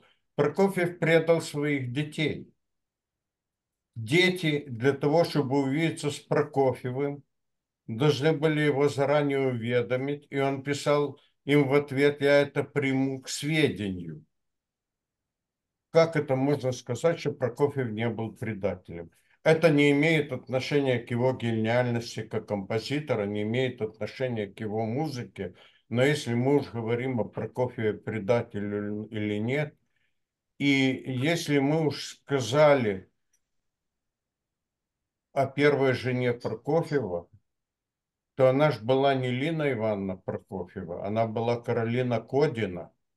Это женщина с такой трагичной судьбой, которая вообще, я не знаю, хватит на сотни исследований. В общем, я, конечно, очень благодарен за доклад, я узнал для себя много интересного. Э, Я рад, что вы нашли в себе силы, время проделать такую серьезную работу, но я просто посчитал необходимым упомянуть о двух вещах, которые меня царапнули. Спасибо большое. Спасибо. Марина, хотите ответить? Да, в общем-то, я тоже могу сказать на этот счет, насчет челюскинцев. Ну, это охранники были, вертухаи. Володя, ну послушайте, ну это же... Весь мир ну, тогда не как- ну когда вы это узнали? Это же было все, даже и люди советские узнали не только Мы- пару лет назад. Марина Ивановна об этом не знала. Да. А, Марина Ивановна знала о Я не другом. знаю ваше отчество, вы что об этом знали? Об этом Я об, об этом знал, так а я же пишу о ней, а не о себе. Я вам скажу, что Марина Ивановна в этом стихотворении еще раз доказала высокую нравственность ее личности. Когда она газеты в руки не брала, она ненавидела газеты. Ну, почитайте ее стихотворение читателям газет, изумительное совершенно. Вот. От газет только экзема, она говорила, да? Когда она узнала, что на льдине погибают люди, неважно какие, какой национальности, она не отходила от газетного киоска. Она все время, как весь мир, кстати говоря, следил за тем, что происходит. Трагедия. И там ребенок, и там, так сказать, вся эта команда. Это трагедия. Это мы настолько сейчас уже стали привычными к тому, что что угодно, и атомная бомба тоже, пожалуйста, в этом районе будет, в этом. Понимаете, поэтому вы не представляете себе, что такое для нее было, когда они не только спасли людей, а когда они еще раз вернулись, рискуя жизнью, на дрейфующую лин, э, льдину, чтобы забрать собак. Она не могла, собачница была, она не могла не откликнуться на это. Это вырвалось у нее стихотворение. Она благодарна, неважно. И, а что, у нас нет возможности, нету права какими-нибудь, я сейчас вам сотни примеров приведу русских людей, которыми я могу гордиться их поступками. Почему Да. возникают такие вопросы, когда по-русски все написано? Европа! Я отвечу Здесь на никто же не, никто же не помог, а, а, а именно они. Поэтому у меня совершенно не возникает. И, и вот это вот, я, я так постоянно актриса, но я так постаралась прочитать это, чтобы уж не было этого вопроса. Я поменяла тональность, поменяла все. Я сказала, сегодня да здравствует Советский Союз, восклицательный знак. А дальше? Марина. Сегодня смеюсь. Сегодня да здравствует Советский Союз. Ну, четко же сказать. Сегодня тире. А тире – это знак, в который она писала Пастернаку. Борис, моя точная стоимость – это тире, которое заполни глубоким вздохом. Это гора и большое тире, которое заполни глубоким вздохом. Вот у нее он здесь. Сегодня смеюсь. Сегодня да здравствует Советский. И если бы сегодня у меня была возможность гордиться кем-то там, я бы с удовольствием это делала. И тяжело переживала смерть Навального, потому что считаю, что это действительно трагедия библейского уровня. Больше нету никого.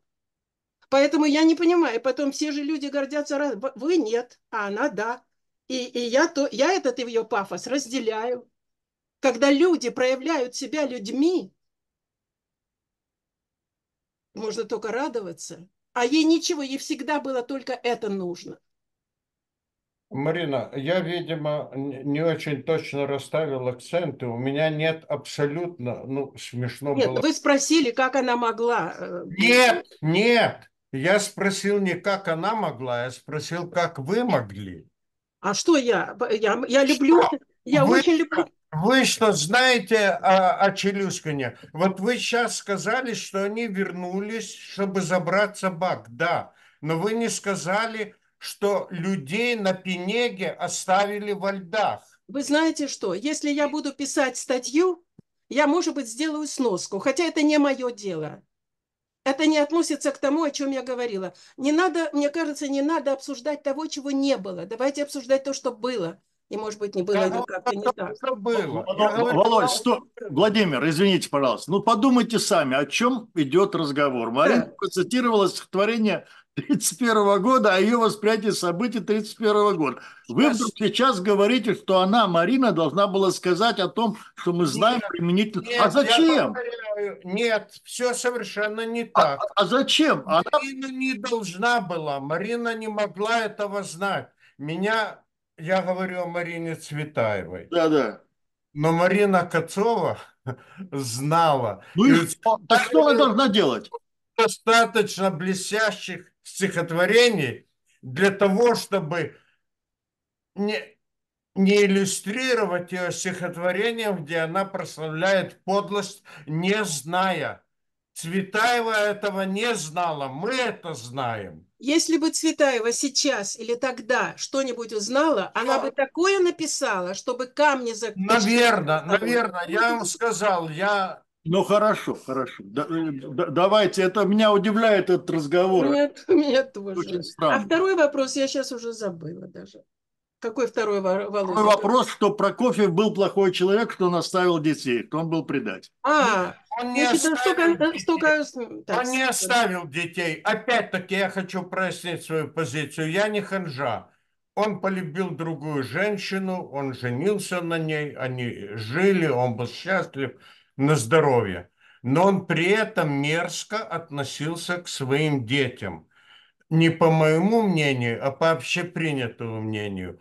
Поэтому, когда мы говорим, что он гениальный композитор, смешно было, если кто-то возразил. Но когда я слышу, что он не был предателем, что он никого не предал, я говорю, нет, он предал своих детей. И это подлость. Вопрос ясен. Марина, есть комментарии? Ну, какие комментарии? Он полюбил эту женщину, он действительно был счастлив э, и, и очень был Я несчастлив. не о женщине, я о детях. Минуточку, о детях. Детям было 24 и 19. Дети, вы почитайте воспоминания детей. Они все пишут. Он заботился о детях. Он делал все, что можно. Уезжая в, в эвакуацию, он предложил Лене Ивановне, чтобы она ехала вместе с ними. Она сказала, с этой женщиной я рядом не поеду. Она осталась в Москве. Ну как, мне даже не хочется так после, в общем, этого доклада все это Ну, ну, Марина, не, не волнуйтесь, о Лене Ивановне я очень много говорю, ну, так сказать, во второй части. Она не обижена. Ну хорошо, ответ ясен. Владимир, вот такая точка зрения, а потом, возможно, будет развитие.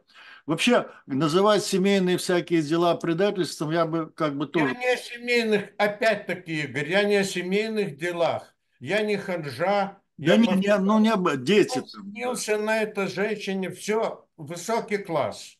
Но я говорю о детях, которые заранее... при- Ну, в общем, я это уже сказал. Ну да, тому примеров миллион. Конечно. Ладно, хорошо, спасибо, Владимир. А, Михаил, пожалуйста. Да, ага. Окей. Я, к сожалению, э, позже пришел, начало не слышал. Ну, Марина, вы, как всегда, великолепны в своем жанре. Все это очень интересно. И сама тема совершенно необычна. Мы как раз с женой вчера пытались собрать вообще все, что мы знали, знаем, где, когда, как, какая связь, почему Прокофьев, Цветаева. И пропустив начало, вот я думаю, может быть, вы упоминали о каких-то дореволюционных встречах, были они или нет? Не нашла ничего. Да. А, ну, э, у меня только два момента. Но я не хочу возвращаться к тому, о чем сейчас был разговор. Я вообще не собирался об этом говорить, но все же, коль скоро Володя Чижик об этом сказал, э, у меня к Прокофьеву как композитору, конечно, не может быть никаких претензий. Хотя седьмая симфония, я не знаю, там есть очень много, э, как бы это сказать, э, измышленного больше, чем прочувствованного, так скажем. А, но как человеку, конечно, у меня к нему очень большая претензия, потому что предал он в основном не детей, а предал он Лину, потому что он пальцем не пошевелил для того, чтобы хоть что-то предпринять каким-то образом, куда-то пойти, кому-то что-то сказать. Ну, это, так сказать, история, оставим это. Что я хочу о нем добавить? Вот вы говорили о Прокофьеве как неспровергатели, там это скифство, конечно, все это. Но я хочу сказать, что в 20 веке, когда мелодия практически потеряла свое значение как главное эмоциональное выражение музыкальных идей, именно Прокофьев оказался наилучшим мелодистом. И у них, вот. Вот это Спасибо то, что за я хотел сказать. Много парадоксов, конечно. Э, Михаил, я была бы очень вам благодарна, если бы вы меня могли направить, сослаться. Откуда вы знаете, что он ничего не делал для спасения Лины Ивановны? Откуда это, где вы это почерпнули? А, ну, это как-то общее представление в воздухе. Говорят, разлито. говорят. Понятно. Ну, Спасибо. я где-то что-то об этом и читал, конечно. Читать об этом нигде вы не могли. Вся литература, которую я... Все он перелопатила, нигде никто. Может быть, сразу скобки идут и многоточие. Так что нет, этого нету. Ну, у меня есть просто живые разговоры, допустим, там, с Тихо Николаевичем Хренниковым, ну, с теми людьми, которые жили тогда и которые действовали. Значит, э, это неправда. Он делал все, что он мог. А если вы еще вчера с женой рассуждали и пытались связать, то вы не могли не понять, что случилось в феврале, в начале февраля 48 года, в какой он попал, э, в какой ужас. Да, ну, это, конечно, мы все Вот, знаем. да? И поэтому все понятно, я тоже мама, у меня тоже есть сын, и я понимаю, что такое предательство э, или детей, или родителей, но э, ведь это же, ну невозможно же ничего сделать, и дети вырастают такими, какими они вырастают, мы ничего не можем сделать. И мы можем Ну не да. понимать. А он э, был еще связан, вы не забывайте, он же жил на Николиной горе. Это же Да. правительственные правительственное место. Кроме всего прочего, еще есть всякие другие. Вот я нашла книжку Серова, который приехал сюда, Виктор Серов, в 48 году в архиве. Вот недавно опять ее смотрела внимательно. Я все, когда давно ее читала, я подумала, ну все, это все понятно, он все объяснил. Вот сейчас. Наконец, я сейчас опять пошла на английском языке. Я ее посмотрела. Ничего подобного. Опять это все говорят. Москва полнилась слухами, что Мира э, Александровна была приближена к Кремля. Не буду сейчас это все рассусоливать, это все неизвестно, не нужно множить это все. Но Да. понять, что у нее отец еврей, профессор экономики, которого, который всего боялся тоже. Э, Вокруг вообще мы же даже не можем себе представить, как они жили. И поэтому Да. у него, с одной стороны, Сталин, Жданов, он ничего сделать не может. Он э, сказал, вы знаете, Прокофьев говорит, э, это в фильме рассказывает Ростропович, что он у него спросил, Сергей Сергеевич, вы не жалеете, что вы вернулись? Он сказал, нет, я бы там умер от академизма. Я бы не смог писать там то, что я ни Ромео и Джульетту, ни все, ни ту же седьмую симфонию, извините, но я в этом смысле никакой надуманности нет. Меня надуманность меня бы не заставила плакать. Я чувствую другим местом. Поэтому э, и вообще эти вот вальсы к Евгению Онегину, это вальсы Ростова, Наташи Ростовой. Боже мой, ну это же такое счастье. И это только мог счастливый человек. Вот и как же мог вот этот человек, который вот так разрывался, как он переживал, как он мучился от того, что да, он Лину привез. Причем не он привез Лину, Лина настаивала. Лина больше хотела, чтобы он лучше зарабатывал и лучше жили в хороших квартирах и так далее. Лина Ивановна – это совсем тоже другой, э, это антипод Марины Ивановны тоже. Но, но во второй части, может быть, что-нибудь мне удастся собрать.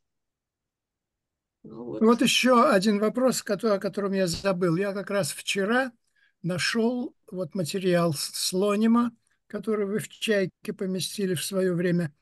И у меня был вопрос. Вот, Я когда вы... поместила Слонима? Ну да. Нет. Это Ну, я... ч- Все, что вы сегодня рассказывали, я вчера читал. А, вы читали в «Чайке». Э, Ну да, в «Чайке», конечно. Вы говорите Слонима. Я думала, что композитор- это мат- э, матери- материал да, встречи, это Слонима, пересказ. А, Марка Сло. Я думала, вы про Ну да. Не-не-не-не-не. Так что у меня вот был вопрос, все время висел, ка- пока я это читал.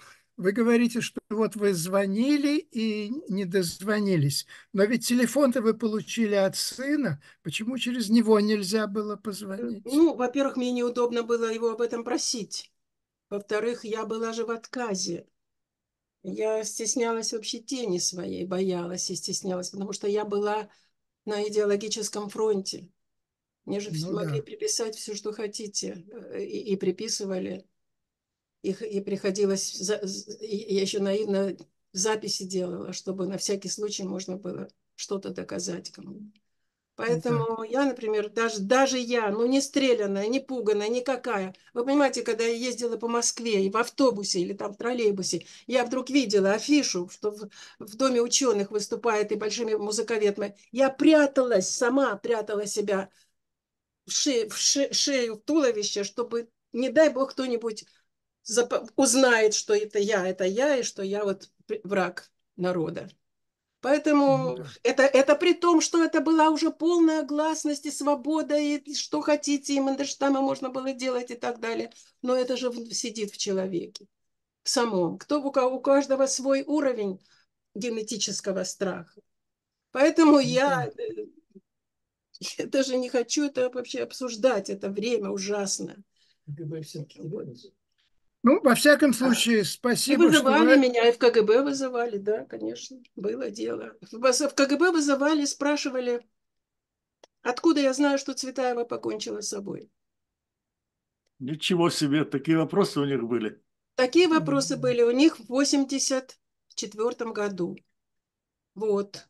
И у меня была целая история. Я сказала этому человеку, что я у меня выскочило совершенно из головы, потому что я, я так нервничала, что он мне сказал, да что же вы так волнуетесь? Да вот пойдите, вот хорошая есть хорошая платная поликлиника, там хороший психиатр, он вас успокоит. Говорю, не надо. Давайте, что вы хотите? Я хочу узнать, откуда вы знаете. Я говорю, вы знаете, я это прочитала в книжке Анастасии Ивановны. Я помню, что я это прочитала. У нее. Он говорит, очень хорошо, а вы мне можете сказать, какая страница? Я говорю, конечно. Дайте мне ваш телефон, я вам позвоню и скажу. Он мне дал телефон. Я прибежала домой, схватила эту книжку. 41 год. Сразу идти в концу иду, иду в конец. Ничего нет. Где же я это читала? У, Цвета... у Анастасии написано, Марина погибла, никак, ничто, погибла в 41 году. И я э, стала просто еще читать и читать, у меня схожу с ума. Я тут это читала. Я помню, как я, у меня сердце остановилось, когда я это читала. И я нашла э, Анастасия Ивановна была тогда э, в ссылке. И долго очень ничего она не, не могла узнать о, о Марине. И когда она узнала, что Марины нет, как Марина погибла, она начала бомбить всех родственников просьбой «сообщите мне, что случилось с Мариной». Тогда могла быть бомбежка, тогда могла быть что угодно, что с ней. И ей никто не решался сказать. Пока месть сестра Сергея Яковлевича, Елизавета Яковлевна Ефрон, которую они называли солнцем Ефроновской семьи, известный человек, очень актриса, она дала телеграмму Анастасии Ивановне. Марина погибла, как наша мама. А наша мама повесилась, когда пришла домой и увидела, что повесился ее сын младший, Костик. И она его сняла и повесилась на том же гвозде, и хоронили вместе. И вот так родная сестра Анастасия Ивановна узнала, что случилось с Мариной. Я ему позвонила и сказала, страницу я вам скажу, но вам надо прочитать всю книгу для того, чтобы понять, о чем идет речь. Да. Но это я такая смелая, потому что это был 83-й год. Был Горбачев. Была Раиса Максимовна, которые уже ездили по Москве и спрашивали, там, меня вызвали тоже куда-то, спросили, проведу ли я в них экскурсию и так далее. Я боялась, потому что тут же узнается все. Одно, одно, один звонок, и все ясно, кто я и что я. А мы работали в филармонии на договоре. И поэтому я не должна была ничего туда сообщать. Но каждый раз, когда меня вызывали в отдел кадров, я понимала, что будут расторгать договор, наверное. Но, ну, в общем, всякое было. Может быть, и- может быть, тоже надо что-то об этом написать, потому что то, что я сейчас слышу про эти 90-е, эти споры, боже мой. Ой, ну вот, Хорошо. извините. Михаил, вопросы или все уже, да? Да, у меня все. Я просто хочу сказать э, спасибо за открытие, в общем-то, совершенно неизвестных вещей. Ну, Да. Спасибо, Михаил, да. Сергей и Наташа.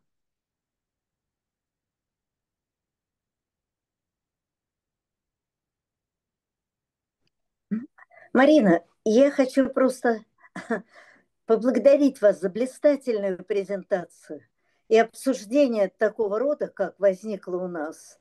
Это, в общем, результат такой интереснейшей, необыкновенной информации, которую вы так интересно э, подавали. Но поскольку я знаю, что вы знаете все о Цветаевой больше, чем кто-либо другой на свете, и вообще знаю вас как блистательного человека, хочу просто поблагодарить и сказать, что все вопросы вокруг вашей сегодняшней презентации только возвышают, что говорится, мое личное и Сережина тоже мнение о вас. Спасибо огромное. И Игорю, конечно, который такого рода презентацию устроил. Потрясающую совершенно. Ну, Спасибо большое. Спасибо, Счастливо. спасибо, Наташа, да, спасибо. Я здесь ни при чем. Так, а, Раиса, а, извините, Елена, sorry, sorry. Елена, пожалуйста. Ты можешь не вякать? Да, да, слышно вас. Елена, вы будете говорить, да? А, спасибо ко мне, я не, не расслышала, что вы обращаетесь ко мне. Эм, Марина, как всегда, большущее спасибо.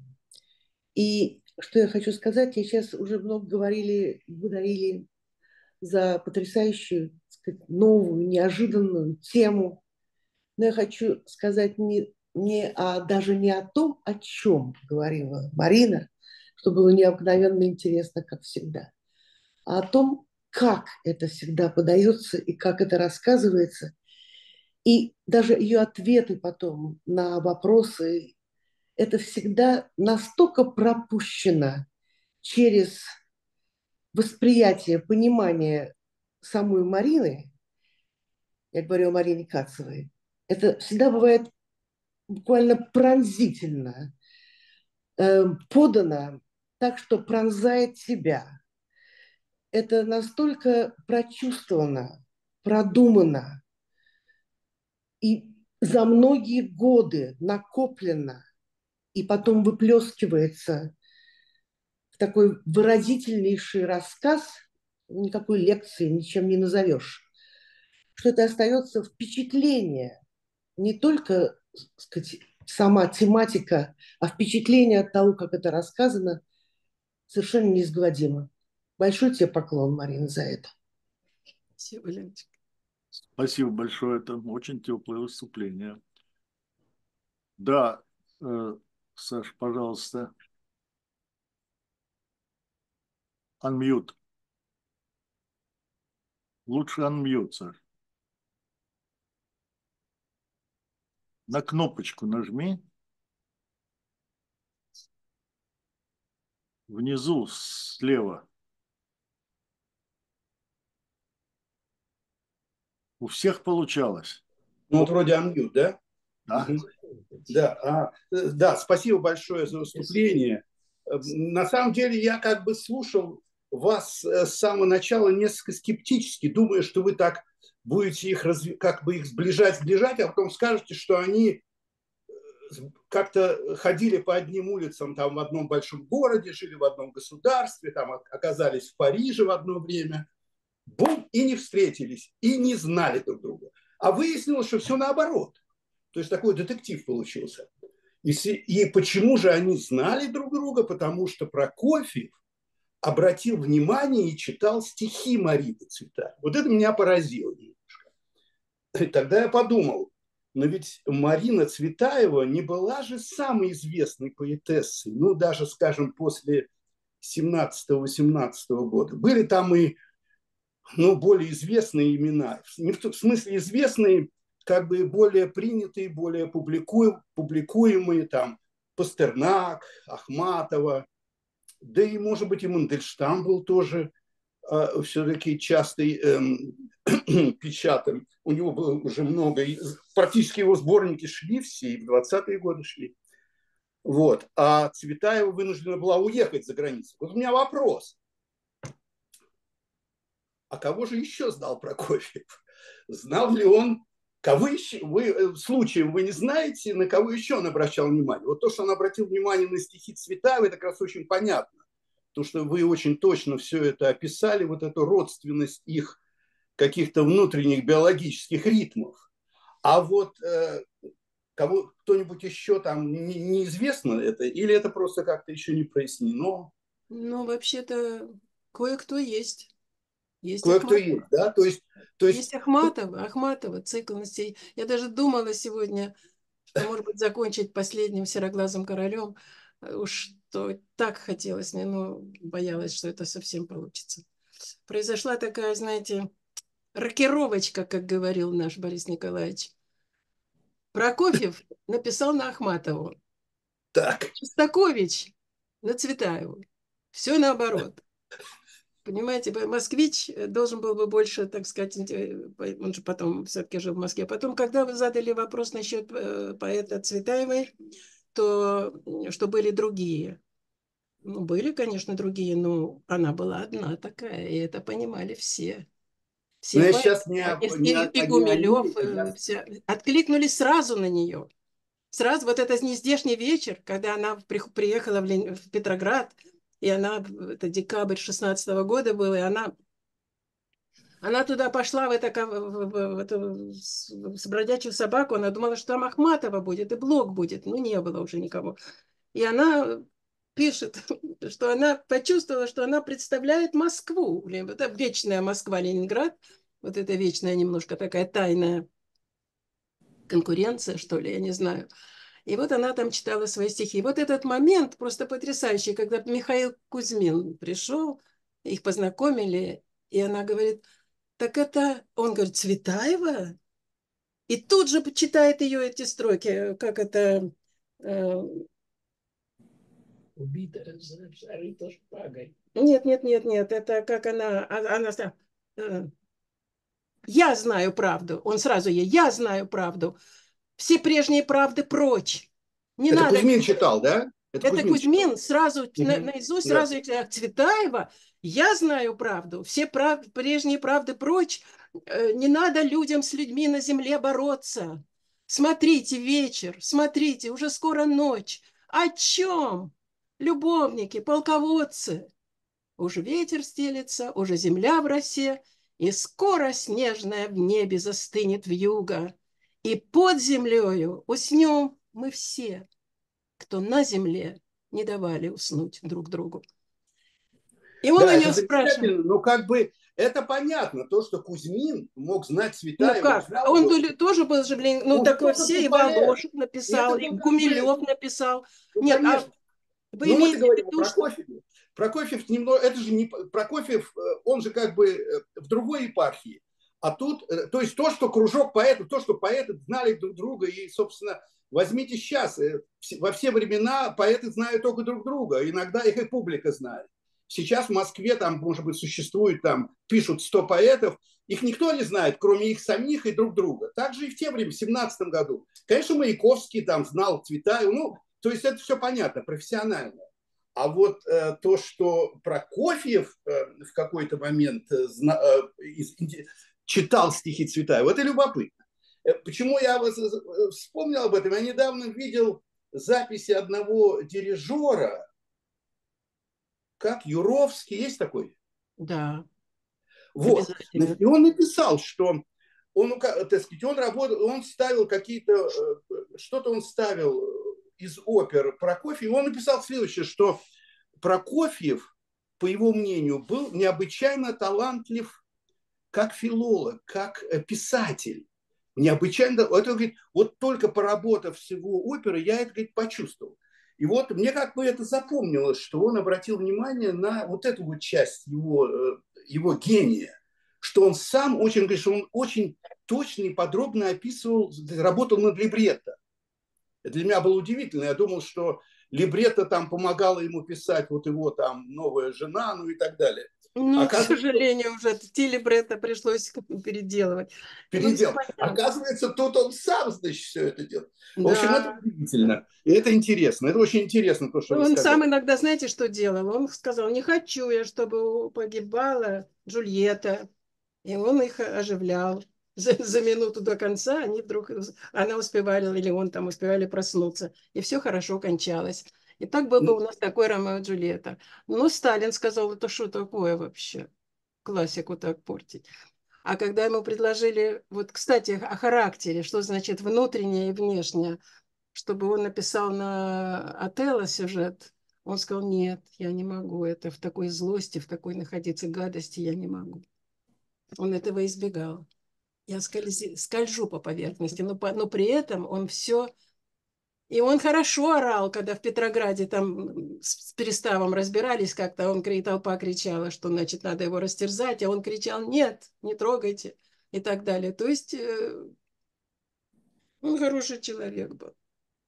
Ну вот насчет того, был ли он хороший человек, это я рекомендую вам почитать вот эти записки этого дирижера. Он там, по-моему, такие, он как-то пытается через музыку его понять, какой он был человек. В общем, я не хочу Ага. сейчас как бы пересказывать, что Это, говорит я Юровский, понимаю, о чем вы это говорите. да. вам, наверное, будет как музыковед, как Ну, специалист. знаете, по музыке. поскольку я вообще человек, абсолютный человек Шостаковича, это Вот мой так. композитор, вот, естественно, надо бы запятую эту, в конце концов, между Шостаковичем и Прокофьевым расшифровать. Ну, вот у нас есть Михаил, может быть, ему это будет больше с руки.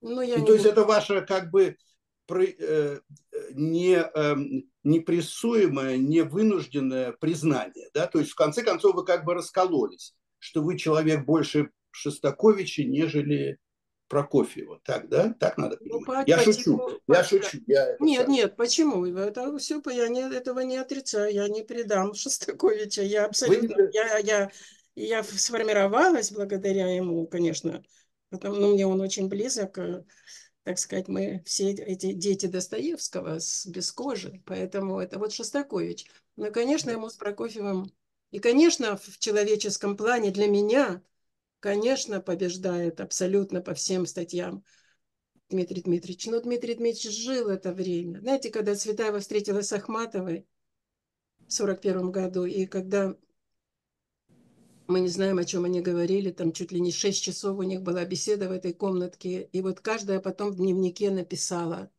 впечатление свое. И вот ну, а Ахматова просто написала, какая же я тёлка по сравнению с ней.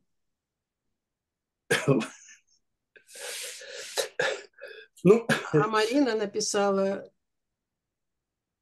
а что же она делала все эти годы, которые 17 лет Марины не было на родине, что же она делала с 14 по такой-то? То есть это при том, что они собрались для того, чтобы читать друг другу только самое лучшее, что они написали. Она читала поэму «Без героя», а Марина поэму «Воздух». Понимаете, вот, как, вот, пожалуйста, что такое эти 17 лет, которые человек живет вне контекста. Не Ну, потому, что э, Анна Андреевна хуже что-то понимала и так далее. Марина ушла в заум, сказала она, написала. Ну, это ее обвиняли, ну, ее, сколь мне помнится, Ну, хорошо, ее обвинял да, в том, да. что она несведущая, живя там в Париже, что она всякие глупости несет, не понимая специфику вот эту внутреннюю жизни в Ленинграде, там, в Москве, ну и так далее. Ну, вообще, все очень замечательно. Вообще, вот эти ваши рассказы о том, как вы ходили в очень, с- очень интересный вот в, в архив, как архивы тогда существовали. И мне тоже доводилось в них бывать. Это, конечно, особая песня. Если вам вот напи- И вообще, почему вдруг какой-то КГБшник заинтересовался, откуда вы узнали про Цветаева? Что это давало ему в качестве дополнительной Я, амуниции против я вам вас? скажу, что было, что было. Это было время, когда очень много людей из филармонии уезжали, артисты. Я э, выступала, как я со словом была связана, понимаете, мое слово всегда могли повернуть как угодно. И кто-то, когда я выступала в доме аспирантов МГУ, э, кто-то донес, не знаю уж куда, филармонию, наверное, что я якобы сказала, что э, вот что Цветаевой э, не ставят, не поставили памятник тут, что-то такое, что в Америке вроде бы ей хотят поставить памятник, потому что тут ее что-то такое. то. А это был очень необычный вечер. Это было в день рождения Цветаевой, и я пригласила Евгения Борисовича Тагера, чтобы он говорил о Цветаевой, потому что это вот история говорила прямо. И мы записали с мужем Тагера, потому что э, нам это было интересно. И женщина, которая этими программами ведала, она ко мне очень хорошо относилась. Это целая история. И вот она, значит, спасибо, спасибо, все, я... Потом у меня там должен была, была тема, там же они меня всегда приглашали, была тема блок и музыка. Ну, я готовлюсь, артисты готовятся, и все, и вдруг вот в среду мы там должны были выступать. Она мне звонит и говорит, вы знаете, Мариночка, у нас отменяется концерт, потому что у нас там труба лопнула. Ну, хорошо, хорошо, давайте перенесем. Проходит, а я когда? Она говорит, ну, недели через две. Хорошо, через две недели она мне говорит, что «М, сегодня нельзя, сегодня партийный день, среда была. Сегодня там партсобрание в зале. Хорошо, не надо. Ну, и я забыла уже про это.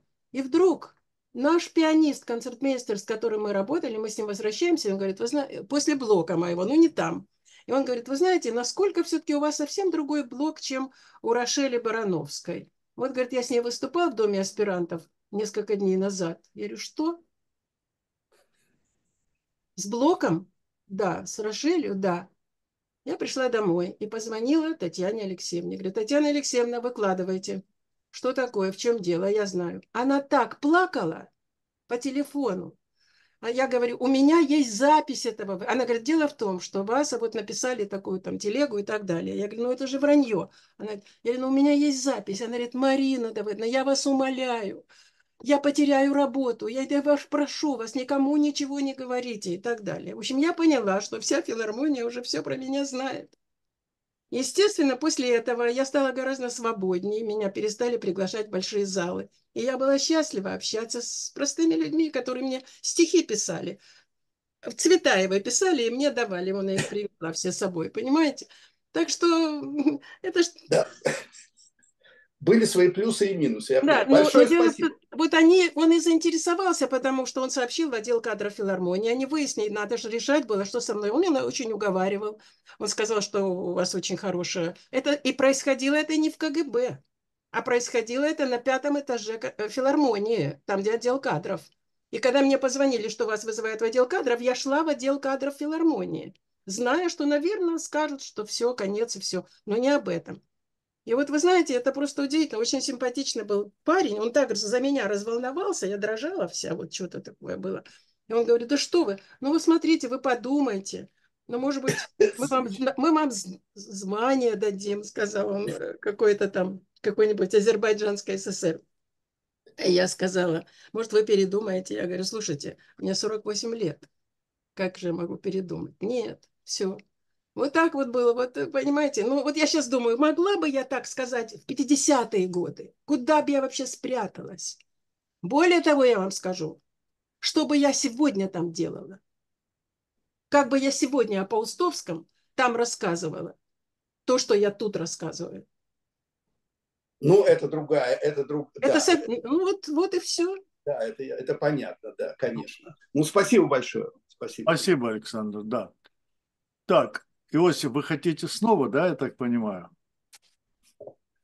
Да, я тоже очень ценю э, рассказы Марины, и вот очень, очень эмоционально и очень благодарен ей, но это не мешает нек- не- некоторые замечания. Ну, может быть, немножко другое мнение. Что я хочу сказать, что вот, ну, ну, я, может быть, продолжу то, что я говорил, что совершенно разные типы, то есть, ну, ну, Прокофьев был оппортунист, ну, что там не говорить, ну, оппортунист был человек, ну, гениальный, но оппортунист, ну, писал там это, э, на Ивана Грозного, Ивана, на это, Александра Невского и все прочее. Значит, еще вот такой маленький ну, э, вопрос. Вот вы говорили, что вы человек Шестак, Шестакович. Шестакович тоже ценил очень Прокофьева, но в то же время критически относился к нему. Говорил, что у него там есть пробелы в его образовании, что он там, я не знаю, аранжировки не может писать, то не может писать, это не может.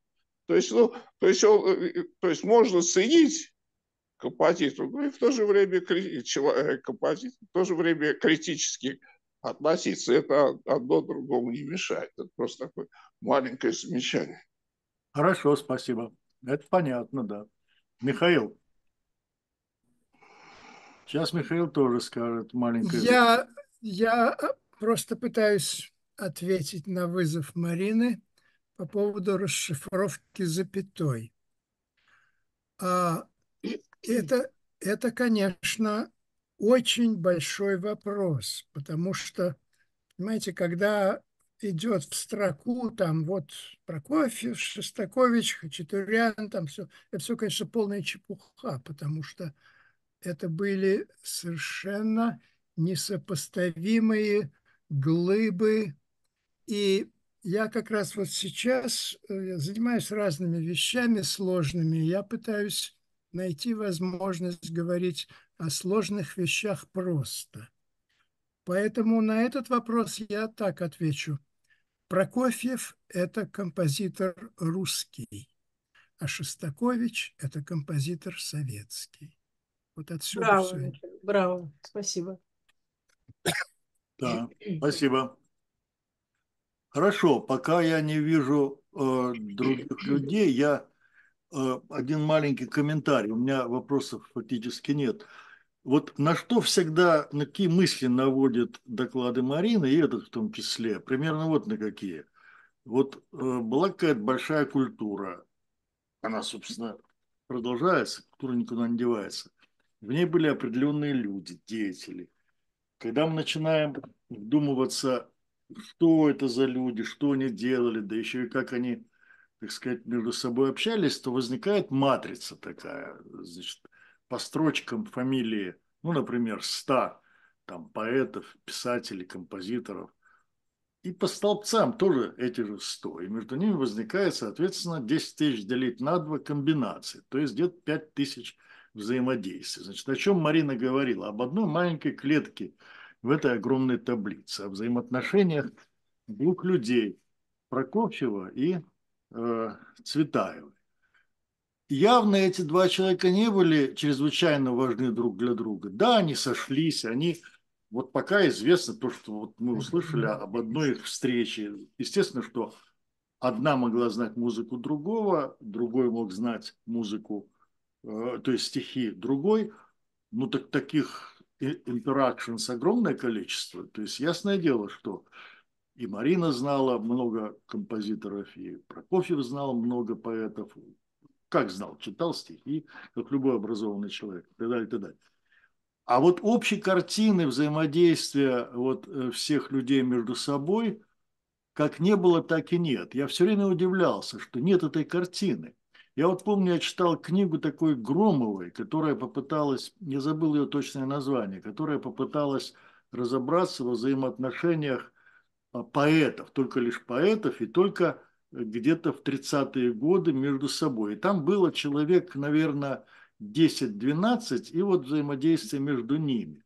Я помню, там были вот известные имена, вот Асеев, там Пастернак, э, Луговской, э, по-моему, еще кто-то.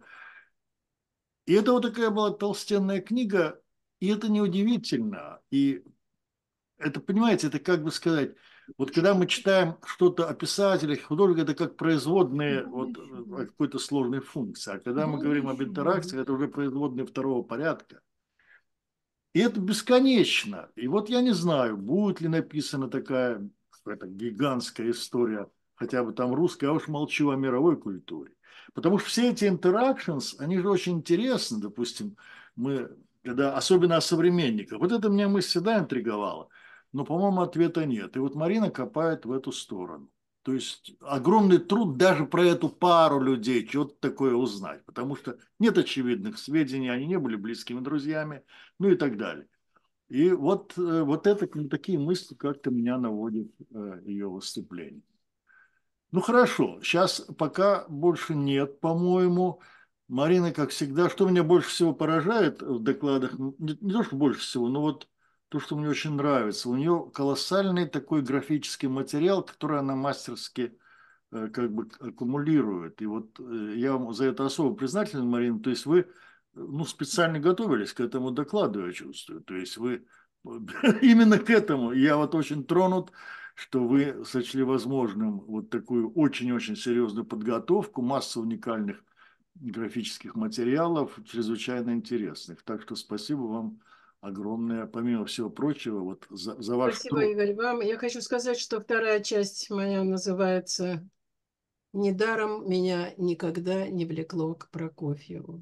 Марина Цветаева. Ну, тогда давайте дождемся вашей второй Вот части. да. Когда, по-вашему, она примерно будет готова? Не знаю, сейчас я жду. Ну, хорошо, вы дадите мне знать, мы поставим Да. тогда в программу.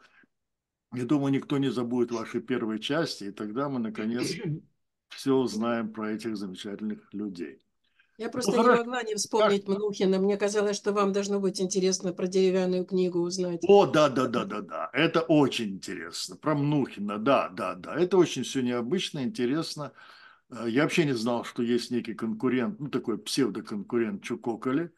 А, ну, вот есть, оказывается. Я про это просто не знал. Да нет, ну, вы показали массу материалов уникальных. Для меня полной неожиданностью был вот этот двухтомник, связанный с Прокофьем, то, что вы показали. О чем? Не, ну я, я, я вообще про него мало что знал. Это, ну, мое, мое мнение не играет никакой роли. Я совершенно не профессионал. А, ну, когда вот Михаил говорит, что и он кое-что новое узнал, это уже многое значит. Потому что он все-таки человек, который профессионально знает музыку и все такое прочее. И я думаю, он не один. Так что замечательный доклад, Марина. Огромное спасибо, от Спасибо имени вам. всех. Если нет больше вопросов, тогда позвольте всем пожелать спокойной ночи.